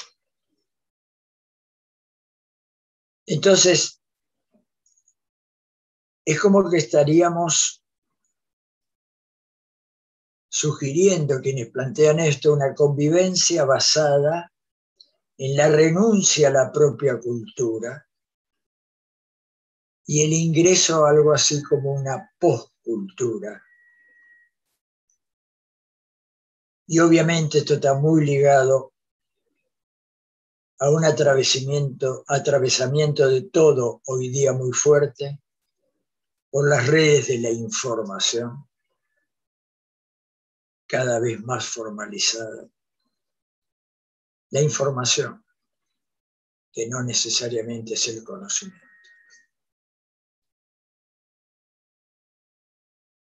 Por los no lugares, se agarran estas cosas, los no lugares del comercio. Y las rupturas significativas en los supuestos continuos culturales que producen aconteceres o eventos. O sea, sugiere la idea de una celebración de la transcultura como una convivencia postcultural. Más allá de las diferencias culturales, pero esto es, en el mejor de los casos, una abstracción. Al menos hasta ahora, desde que bajamos del árbol, no conocemos formas de convivencia posible que no sean precisamente culturales. Entonces, lo que me parece fundamental en el sentido fuerte del diálogo de las culturas interactuantes es lo que hablamos de la interculturalidad. Posibilidad del encuentro entre diversas culturas, diálogo en el sentido fuerte de salir de la interacción habiendo aprendido algo del otro y no meramente dejándolo ser. Quizás, y voy a ir, cerrando, pues ya son siete y media, se nos fue el tiempo. Quizás no sean solo tres las heridas del narcisismo como pensaba Freud, ¿se acuerdan? Él nombraba la evolución de la vida, la relatividad del espacio y del tiempo, la fragmentación de la subjetividad. la historicidad, la diversidad de puntos de vista, la definitiva no transparencia, han hecho de nuestras ilusiones culturales modernas el supuesto progreso, la supuesta universalidad, lo público, una seria paradoja. Y acá insinúo si no será acaso la alteridad en cuanto tal la herida de las heridas. Diría la cuarta para el narcisismo. Y es la propia de este signo. El otro no es solo el propio pasado sin arquetipos o la relatividad del tiempo que rompe la linealidad de la utopía, o el no saber de sí mismo que cuestiona la total transparencia de la identidad. El otro es el otro. Y me interpela éticamente. Acá menciono otro de los grandes pensadores, Emmanuel Levinas, que insinúa que esta idea, esa relación con el otro en tanto otro, es ética. No es la representación de una diferencia lo más importante, sino que el otro me está diciendo, heme aquí, no me violentes. Esto es ética. Entonces, en este sentido, frente a una cultura de homogeneidades y de superficies,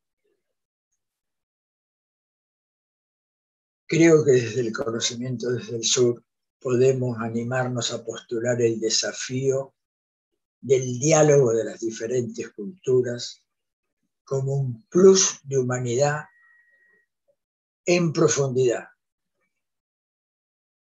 que sobre la base de igualdad para todos y de libertad para cada uno, reconoce además en la diversidad el camino de la fraternidad. Por supuesto que hay riesgos. El resurgir de fundamentalismos culturales, renovadas formas de nocentrismo, y en este sentido nos vemos obligados a profundizar las cuestiones, a revisar nuestras viejas soluciones y a intentar comprender mejor no solo lo que pasa, sino y sobre todo lo que está en juego. Bueno, terminando les diría, yo creo que lo que está en juego en esta producción de conocimiento desde el sur relacionado con la interculturalidad es un plus de humanidad que puede esperarnos si logramos efectivamente entender que el diálogo de las culturas es una condición de posibilidad para la convivencia pacífica y para orientar la llamada globalización que tal como se está dando es excluyente y transformarla en la posibilidad de que sea regida por principios de justicia y de libertad. Por eso me parece importante mostrar que no es meramente un tema de reconocer otras culturas o en la otra punta proclamar el fin de las culturas, sino que es la interacción como una forma de redefinición continua de la identidad y de la diferencia, de la igualdad y la libertad, de la particularidad y la universalidad. En este sentido, el tema de fondo es el aprendizaje mutuo en el reconocimiento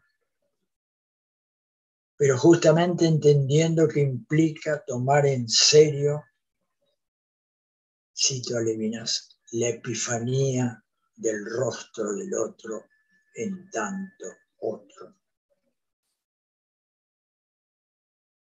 O sea, el diálogo de las culturas pone de relieve la tensión entre igualdad y libertad, entre justicia y bien, pero nos desafía a la fraternidad, junto, por supuesto, a la igualdad y la libertad. Pero es un paso más que podemos encontrar.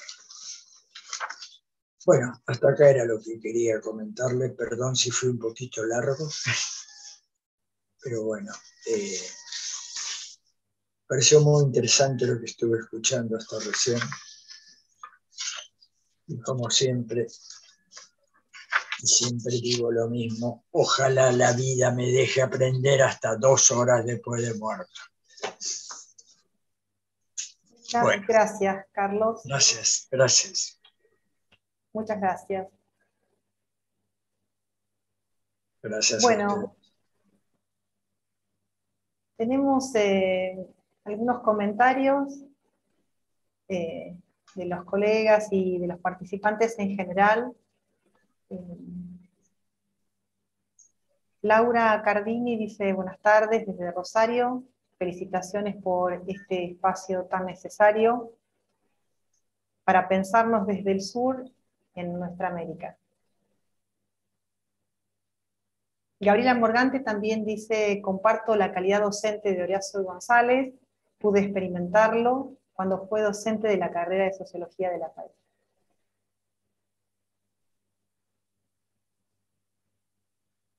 Y luego tenemos una pregunta para usted, Carlos, eh, de Gabriela Morgante, que dice, la producción de conocimiento intelectual viene de la mano del desafío de adquirir nuevas competencias que discuten, entre otras cosas, lo que suele nominarse como la autoridad científica? Honestamente, perdón, es no creo no creo que... Intercultural. ¿Cómo? Ah, perdón. la producción de conocimiento intercultural. ¿no? Si la producción de conocimiento intercultural viene de la mano de ese desafío. No, está bien, pero digo, hay todo un tema que se ha metido este último tiempo, que es el de las competencias. Por ejemplo, los currículos escolares de los distintos niveles ya no hablan de objetivos ni de contenido, hablan de competencias. Pero el problema de esto, yo digo que puede significarnos algunas cosas de progreso, sin duda ninguna, pero el riesgo es lo que viene detrás. Esas evaluaciones de quién está primero, quién está segundo, quién está tercero, que está pasando mucho en el campo educativo. Pero también, aunque no se dice claramente, en el campo cultural. En este sentido, yo me animo a decir que no niego hablar de competencias, sino que me gustaría que las relacionemos con otras cosas, como los marcos institucionales, las políticas correspondientes y las historias culturales correspondientes. No las tomemos abstractas, pero bueno, es para discutir todo lo que quieran esto. Carlos, hay otra pregunta que la formula Estela María, Maris García. Eh, dice, ¿es posible articular el saber científico con los saberes otros que están vigentes en los pueblos del sur? Bueno, ese es todo un tema que me parece clave y agradezco la formulación, porque justamente este es el tema, que muchas veces en nombre de un supuesto saber científico como la única forma de entender la verdad del conocimiento, negamos otras cosas. Yo acabo de terminar mi libro número 14, que me lo están publicando en Rosario, con este nombre, La Sofía primero, la episteme después. O sea, la sabiduría primero la ciencia después. Y la ciencia tiene que no ilusoriamente negar la sabiduría. Y muchas veces en nombre de la prioridad del conocimiento científico, no somos capaces de atender a la sabiduría. Esto no quita que el conocimiento desde el sur también tiene que avanzar en pasos de rigurosidad científica, pero que no sea a costa de la sabiduría. La sabiduría de los pueblos, la sabiduría de la vida, o como recién decía la compañera Karina, mostrando esa cosa artística, la sabiduría que nos liga al agua, al aire, al viento, a la tierra. Bueno, mi respuesta va por ahí. Listo, Laura. Muchas gracias. Eh, Soledad Lubrina dice un placer escucharlo. Eh, realmente. Gracias. Muchas cosas para pensar. Eh, a mí me pareció muy interesante la relación que pueden establecerse entre estos enfoques de las antropologías del sur con el tema de la ética. Sí, es clave. Me parece muy interesante esta asociación entre las teorías y la ética o, los enfoques para poder eh, trabajar o abordar el problema de la cultura y la ética. Claro, seguro.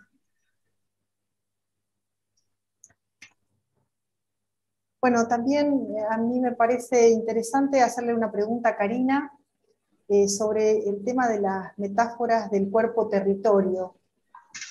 Eh, me pareció muy interesante que estas prácticas artísticas pudieran, con esta idea de transposición, si lo entiendo bien, temporales y espaciales, que pueda trascender este espacio tal vez artístico y sumarse a estas antropologías del sur como una herramienta para trabajar eh, cuando uno aborda desde el trabajo de campo, e intenta eh, conocer, saber sobre algunos aspectos de la cultura a través de, las, de esta idea, ¿no? de este concepto o de esta herramienta, de la metáfora, la metáfora primero y la metáfora entre cuerpo y territorio. Muchas gracias, Laura. Eh, creo que es fundamental sí, hablar de ello porque la teoría feminista de colonial ha revelado fuertemente, eh, a causa de las violencias ¿no? contra los cuerpos feminizados y de las mujeres, la importancia de comprender cómo el sistema colonialista, capitalista, patriarcal depreda los cuerpos en tanto está depredando la naturaleza, ¿no? Lo que decía recién el profesor, qué hermoso tenerle y escucharle tan atentamente sobre la sabiduría y los conocimientos ancestrales. Creo que es la, parte más difícil que nos toca desde, para hablar desde el sur, desde las epistemologías del sur, desde otras formas de metodologías, eh, pensar cómo, por ejemplo, atender a lo que son eh, el reino de lo invisible, quizás, ¿no? Es decir, esas fuerzas que para algunos son sobrenaturales, pero para otros pueblos no, eh, que están ocurriendo acerca de cómo las mujeres indígenas hablan de eh, la montaña sagrada o que las montañas hablan o que los ríos cantan o, a mí me gusta mucho llamarlo eso entre lo que Dana Haraway también llama no la posibilidad de pensar y de producir conocimiento situado sintiendo que el hombre no es el reino de este universo, sino que el, el hombre convive con otras especies, ¿no?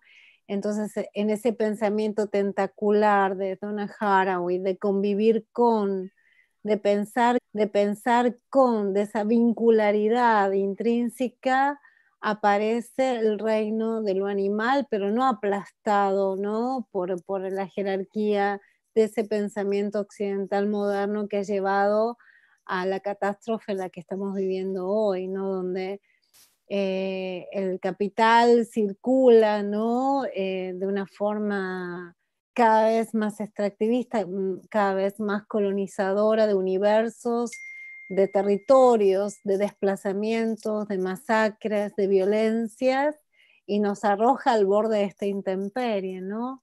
Eh, si uno se pone a pensar también cómo las artistas y sus lenguajes nos pueden sensibilizar acerca de qué herramientas no crear en un mundo que frente al cual nos damos cuenta que las herramientas que tenemos dentro de las disciplinas de la sociología, por ejemplo, eh, son limitadas, ¿no?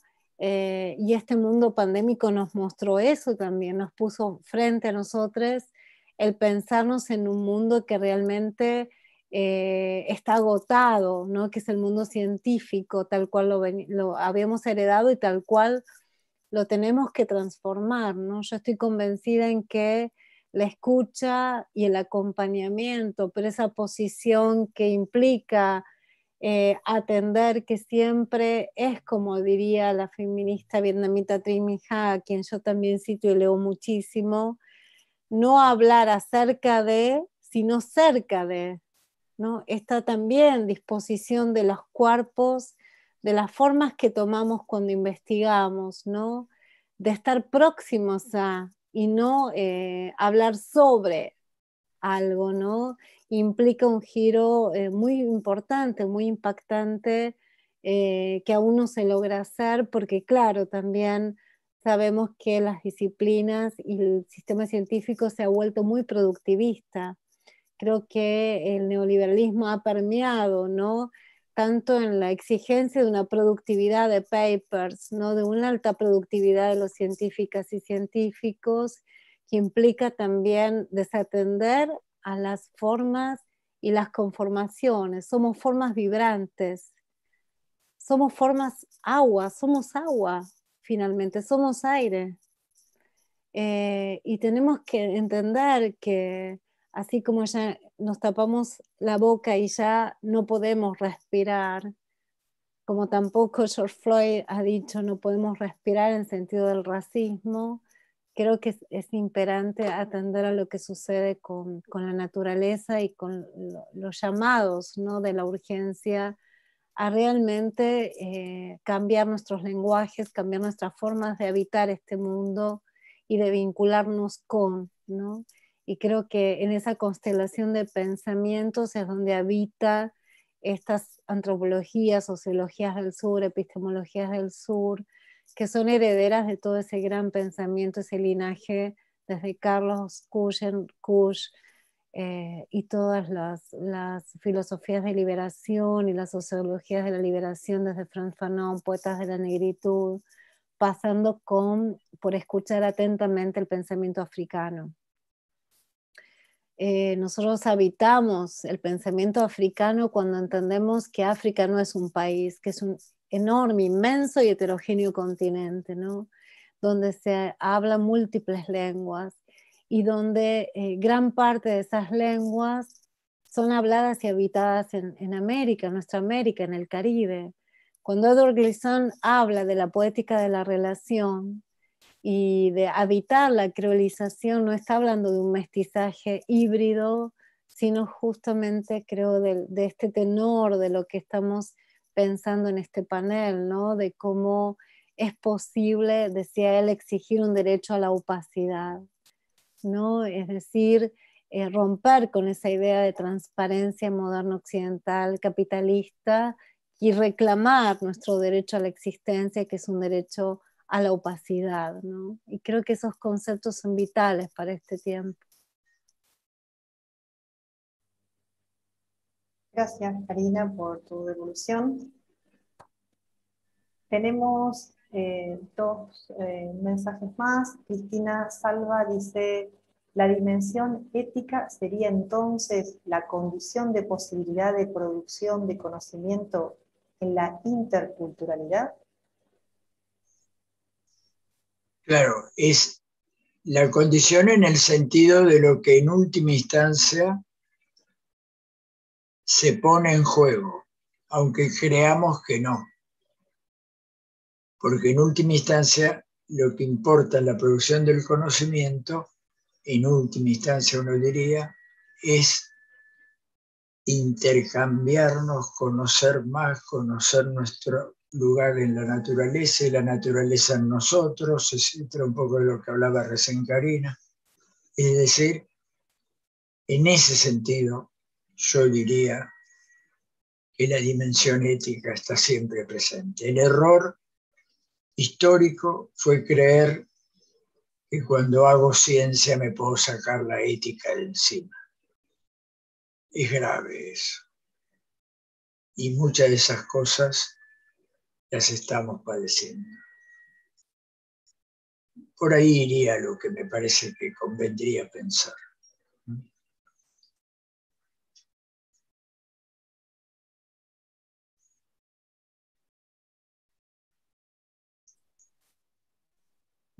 Leo, leo yo Laura porque está silenciada, veo que está leyendo pero está silenciada. Ay, perdón. Una más de, Una más de, Julián Cueto, pregunta para creo, ¿cómo se dan las intersecciones entre las ontologías otras con la producción de conocimiento científico en una clave ética? Em, fíjense que esta dirección de las preguntas que van apareciendo tienen que ver con lo sugerente, que es todo lo que escuchamos para pensar eh, la forma en la que entendemos la relación de campo, la relación endográfica, la producción de conocimiento dialógico en el campo, desde esa intersubjetividad, esa intercorporalidad. Eh, van surgiendo muchas preguntas vinculadas con eso porque es muy interesante para, para pensarnos ahí desde esa interpelación que viene de la alteridad y, la implicación ética que tiene esta, esta alteridad y, pensarla en relación a, a, esa relación de producción de conocimiento. Eh, por eso hay mucho ahí para, mucha tela para cortar. Y en esto que decía Karina también de estar próximo, no, no hablar sobre, que tiene que ver con, con eso. Entonces, bueno, ahí la, la pregunta de, de, Julián sobre las intersecciones entre las ontologías otras con la producción de conocimiento científico. Y quisiera sumar también, especialmente para Karina, que hablaba de, la respiración de la palabra, en un momento eh, pensando en esa clave y en las transposiciones espaciales, temporales, cómo pensar también esas, esas transposiciones posibles en esa transpiración de la palabra que aparece, por ejemplo, en obras como la de Ana Mendieta y en otras, es decir, cómo, em, cómo movernos entre, entre el análisis de esas obras y, el conocimiento que esas obras producen y el posicionamiento ético que esas obras proponen y la producción de, conocimiento en ciencias sociales, que también estamos escribiendo desde, desde esa clave.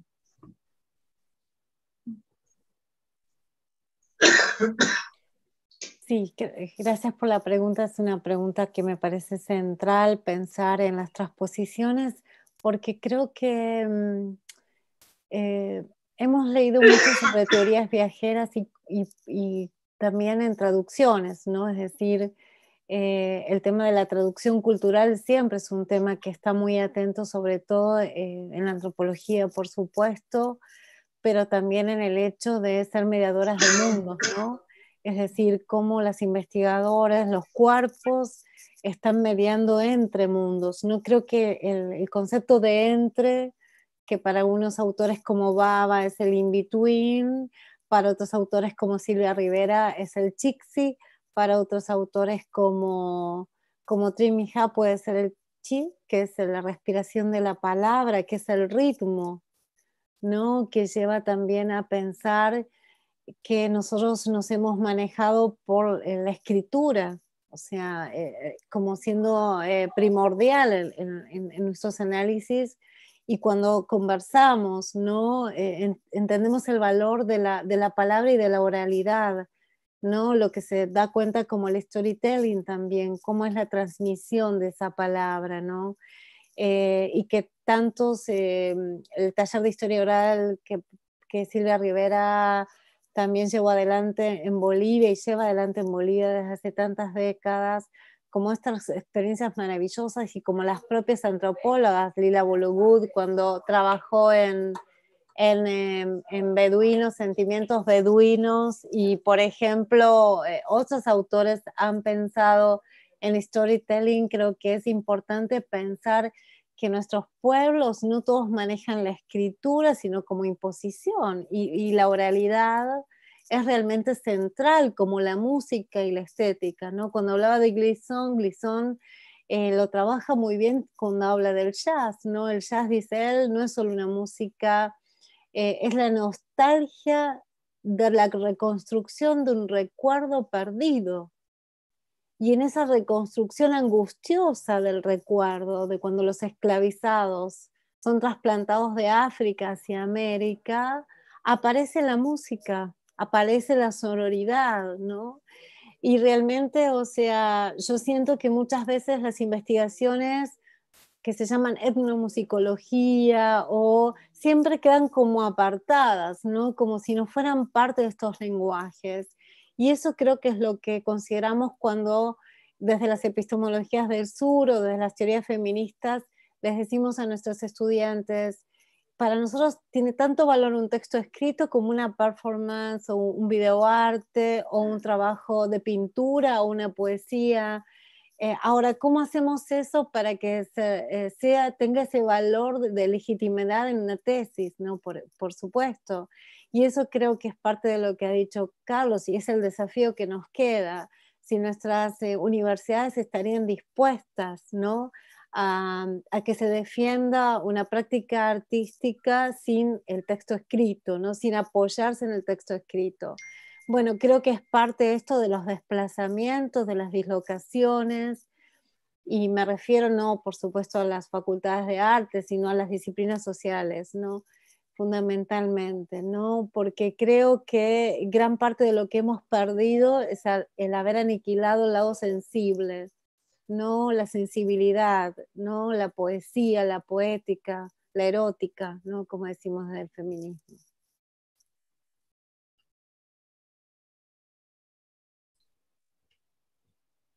Carlos. Sí. No, lo que me quedé pensando recién escuchando a la Karina es justamente este pensador que mencioné, Levinas, el que habla de la relación ética del otro en tanto otro, etc., en un momento hablando del lenguaje dice, primero el decir, después lo dicho. Ah, el decir tiene que ver con un encuentro con otro. En cambio, lo dicho lo saco de la relación y lo trabajo independientemente de eso. Me parece que esta es una forma simple pero muy profunda de poder trabajar también. Y yo lo relacionaba un poquito con esta insistencia que le agradezco mucho que la haga a Karina.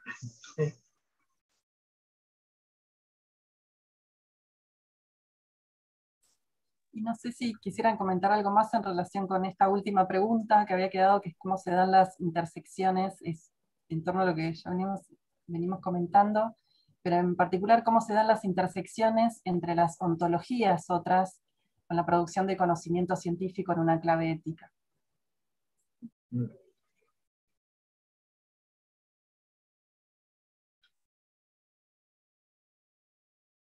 Yo creo que es muy importante pensar en, insisto con Gleason, que es un autor que me está haciendo pensar mucho en los últimos tiempos, lo vengo leyendo y la verdad que es muy inspirador pensar cómo él mismo ha pensado la multiplicidad sin la antropofagia. ¿no? Él decía que el conquistador, em, cuando vino a conquistar nuestras tierras, vino como uno y lo que devolvimos fue la multiplicidad. Y él decía que en la idea de la comprensión del otro no está habitado el tener que disolvernos en el otro.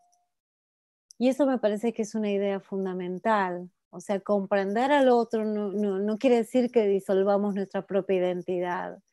Es decir, sino más bien que nos volvamos múltiples, ¿no?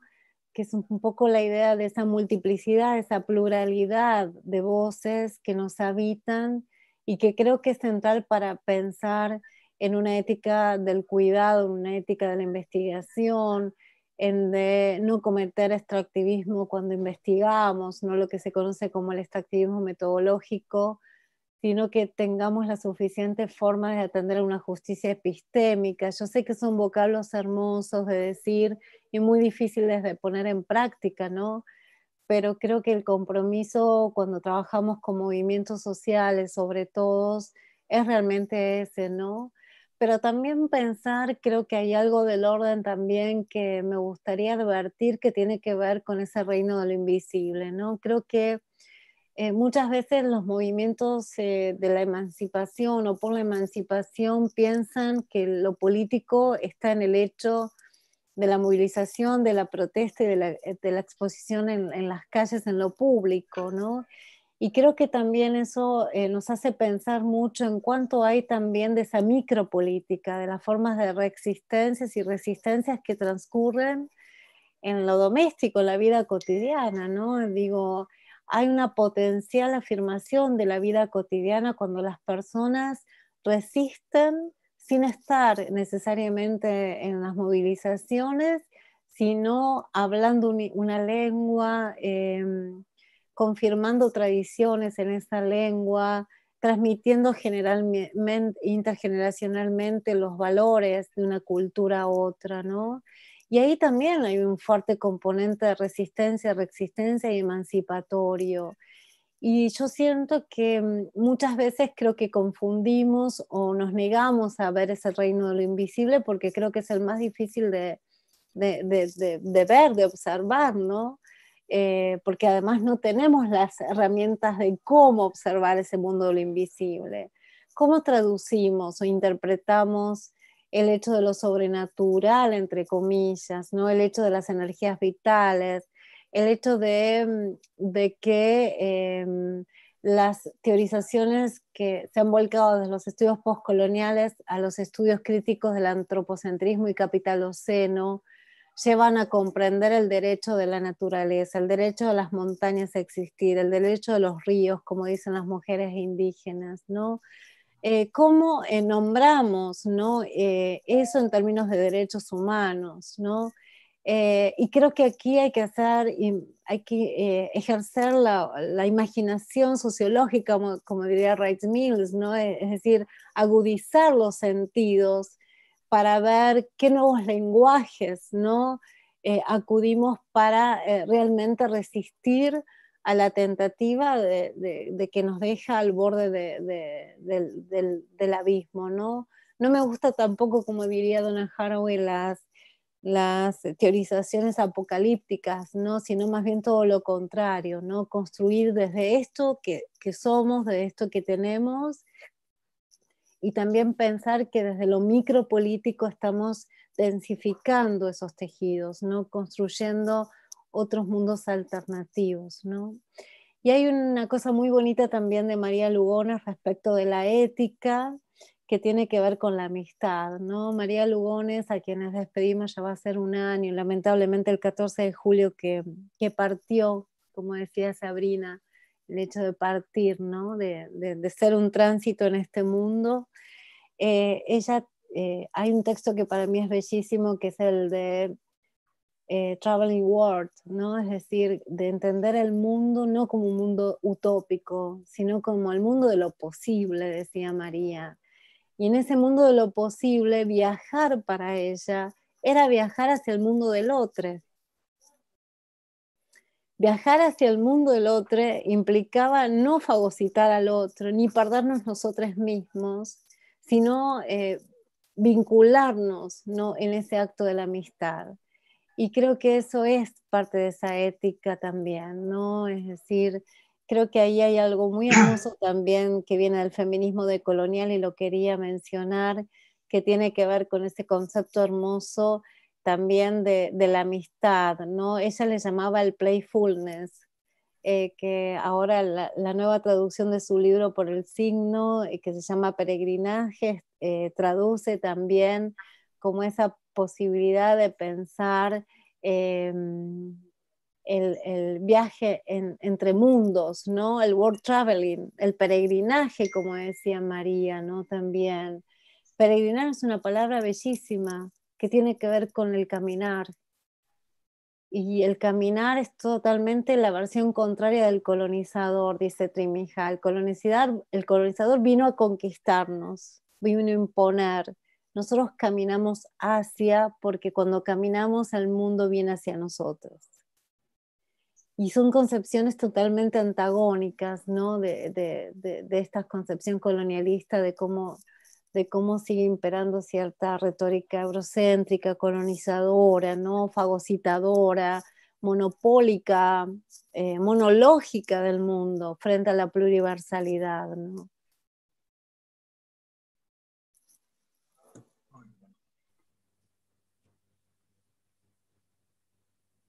Súper interesante lo que nos estás contando y diciendo, Karina.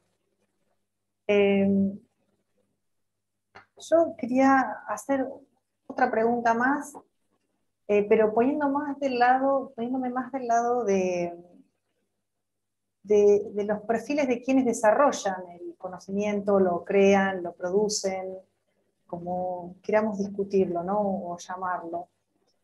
Eh, ¿Qué piensan ustedes acerca de, qué tipo de investigador eh, está acorde o, sería producto de, estos, de estas teorías, de estos perfiles, ¿no? Eh, ¿qué, tipo de investigador, qué tipo de antropólogo, de sociólogo eh, podemos vislumbrar eh, para una sociedad que, tenga, que tome estos nuevos desafíos desde el punto de vista teórico?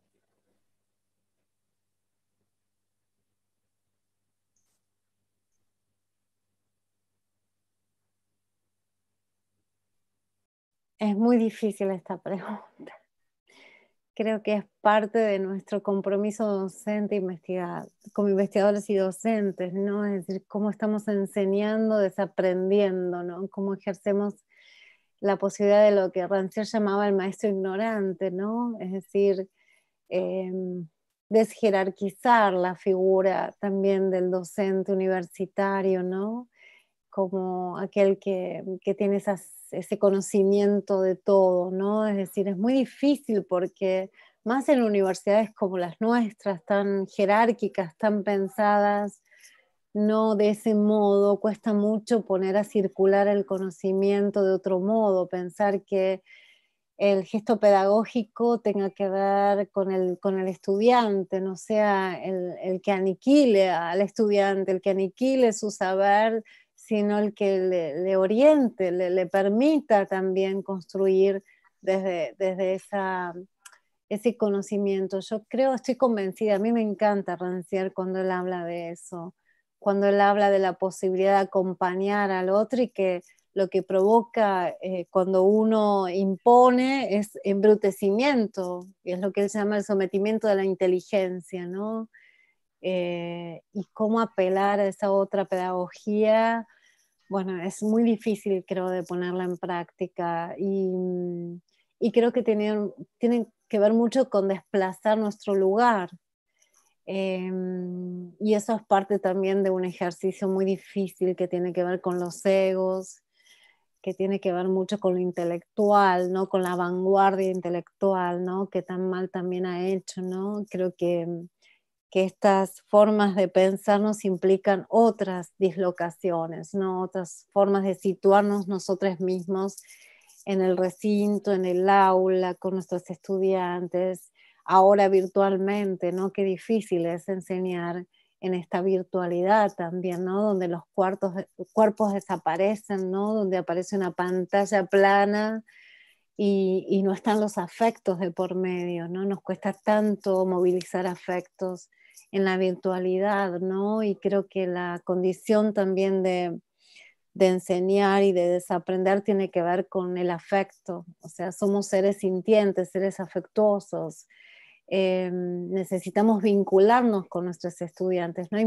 posibilidad de, mantener una distancia, ¿no? Es decir, y mucho de eso también hay en una teórica maravillosa que es Bell Hooks cuando llama en Teaching to Transgress, enseñar a transgredir, valiéndose mucho de Paulo Freire, sin dudas, al hecho de, de, dejar el cuerpo en el aula, ¿no? ¿Qué quiere decir eso, no? ¿Cómo se entra y cómo se sale del aula, no?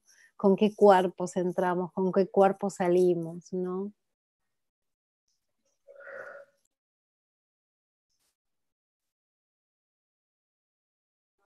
Marce.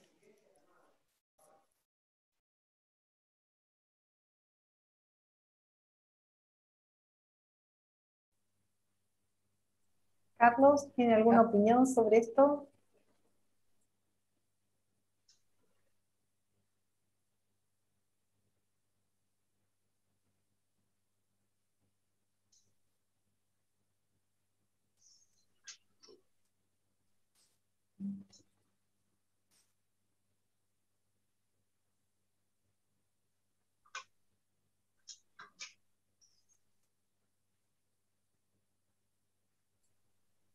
Creo que no escucho esta última parte, pero bueno, les comentamos mientras em, a otros comentarios que fueron llegando de Estela Maris García, excelentes los aportes de Karina y del profe Kulen.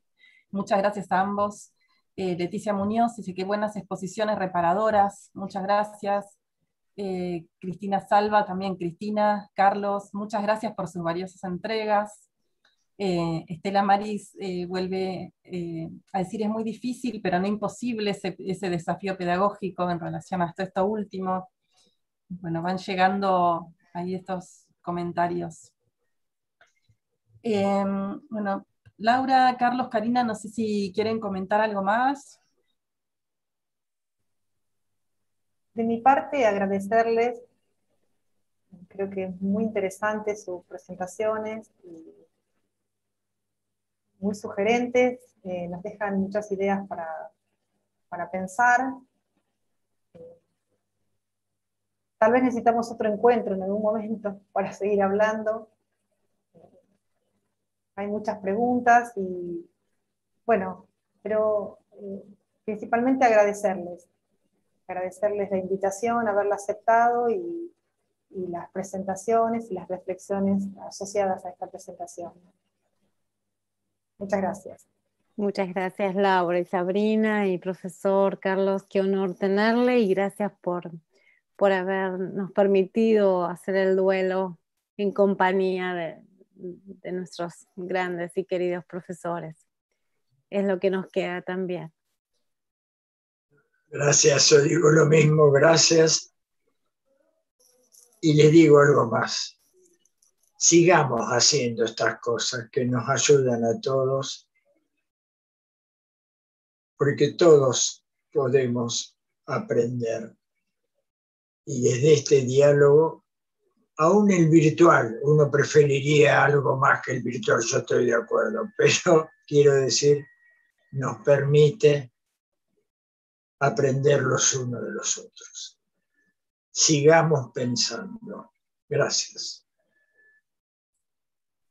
Genial, muchas gracias Karina, Carlos, muchísimas gracias por esta preciosa conversación que seguramente va a seguir acá y en los espacios eh, que están detrás de estas pantallas. Y, y, también agradecerles infinitamente a ustedes dos eh, y también, bueno, aprovechar para agradecer al equipo de facilitadores tecnológicos que hacen posible que suceda todo esto y que suceda de esta manera. Entre ellos, eh, especialmente quería eh, agradecer a Federico Andino, que cuando hicimos el pasaje del Congreso a la Virtualidad nos ofreció muy generosamente todo su conocimiento y toda su experticia en cómo hacer este pasaje del Congreso a lo virtual. y después el equipo de facilitadores tecnológicos le pone todo el corazón y muchísimo tiempo y horas de trabajo para que, para que esto pueda suceder. Así que de nuevo gracias, gracias a todos los que, los que siguieron esta conversación, trajeron sus preguntas, sus comentarios y bueno, las palabras de Carlos me parecen las mejores para cerrar, que sigamos, sigamos como él dijo. Eso. Seguiremos. Bueno, gracias. Gracias. Muchas gracias a todos por acompañarnos. Un placer. Exactamente. Gracias, muchas gracias a todos. Bueno, nos permitimos salir. Damos las cámaras y los audios unos segunditos y nos encontramos después acá de este lado. ¿Que las apaguemos? Sí, unos, unos segundos.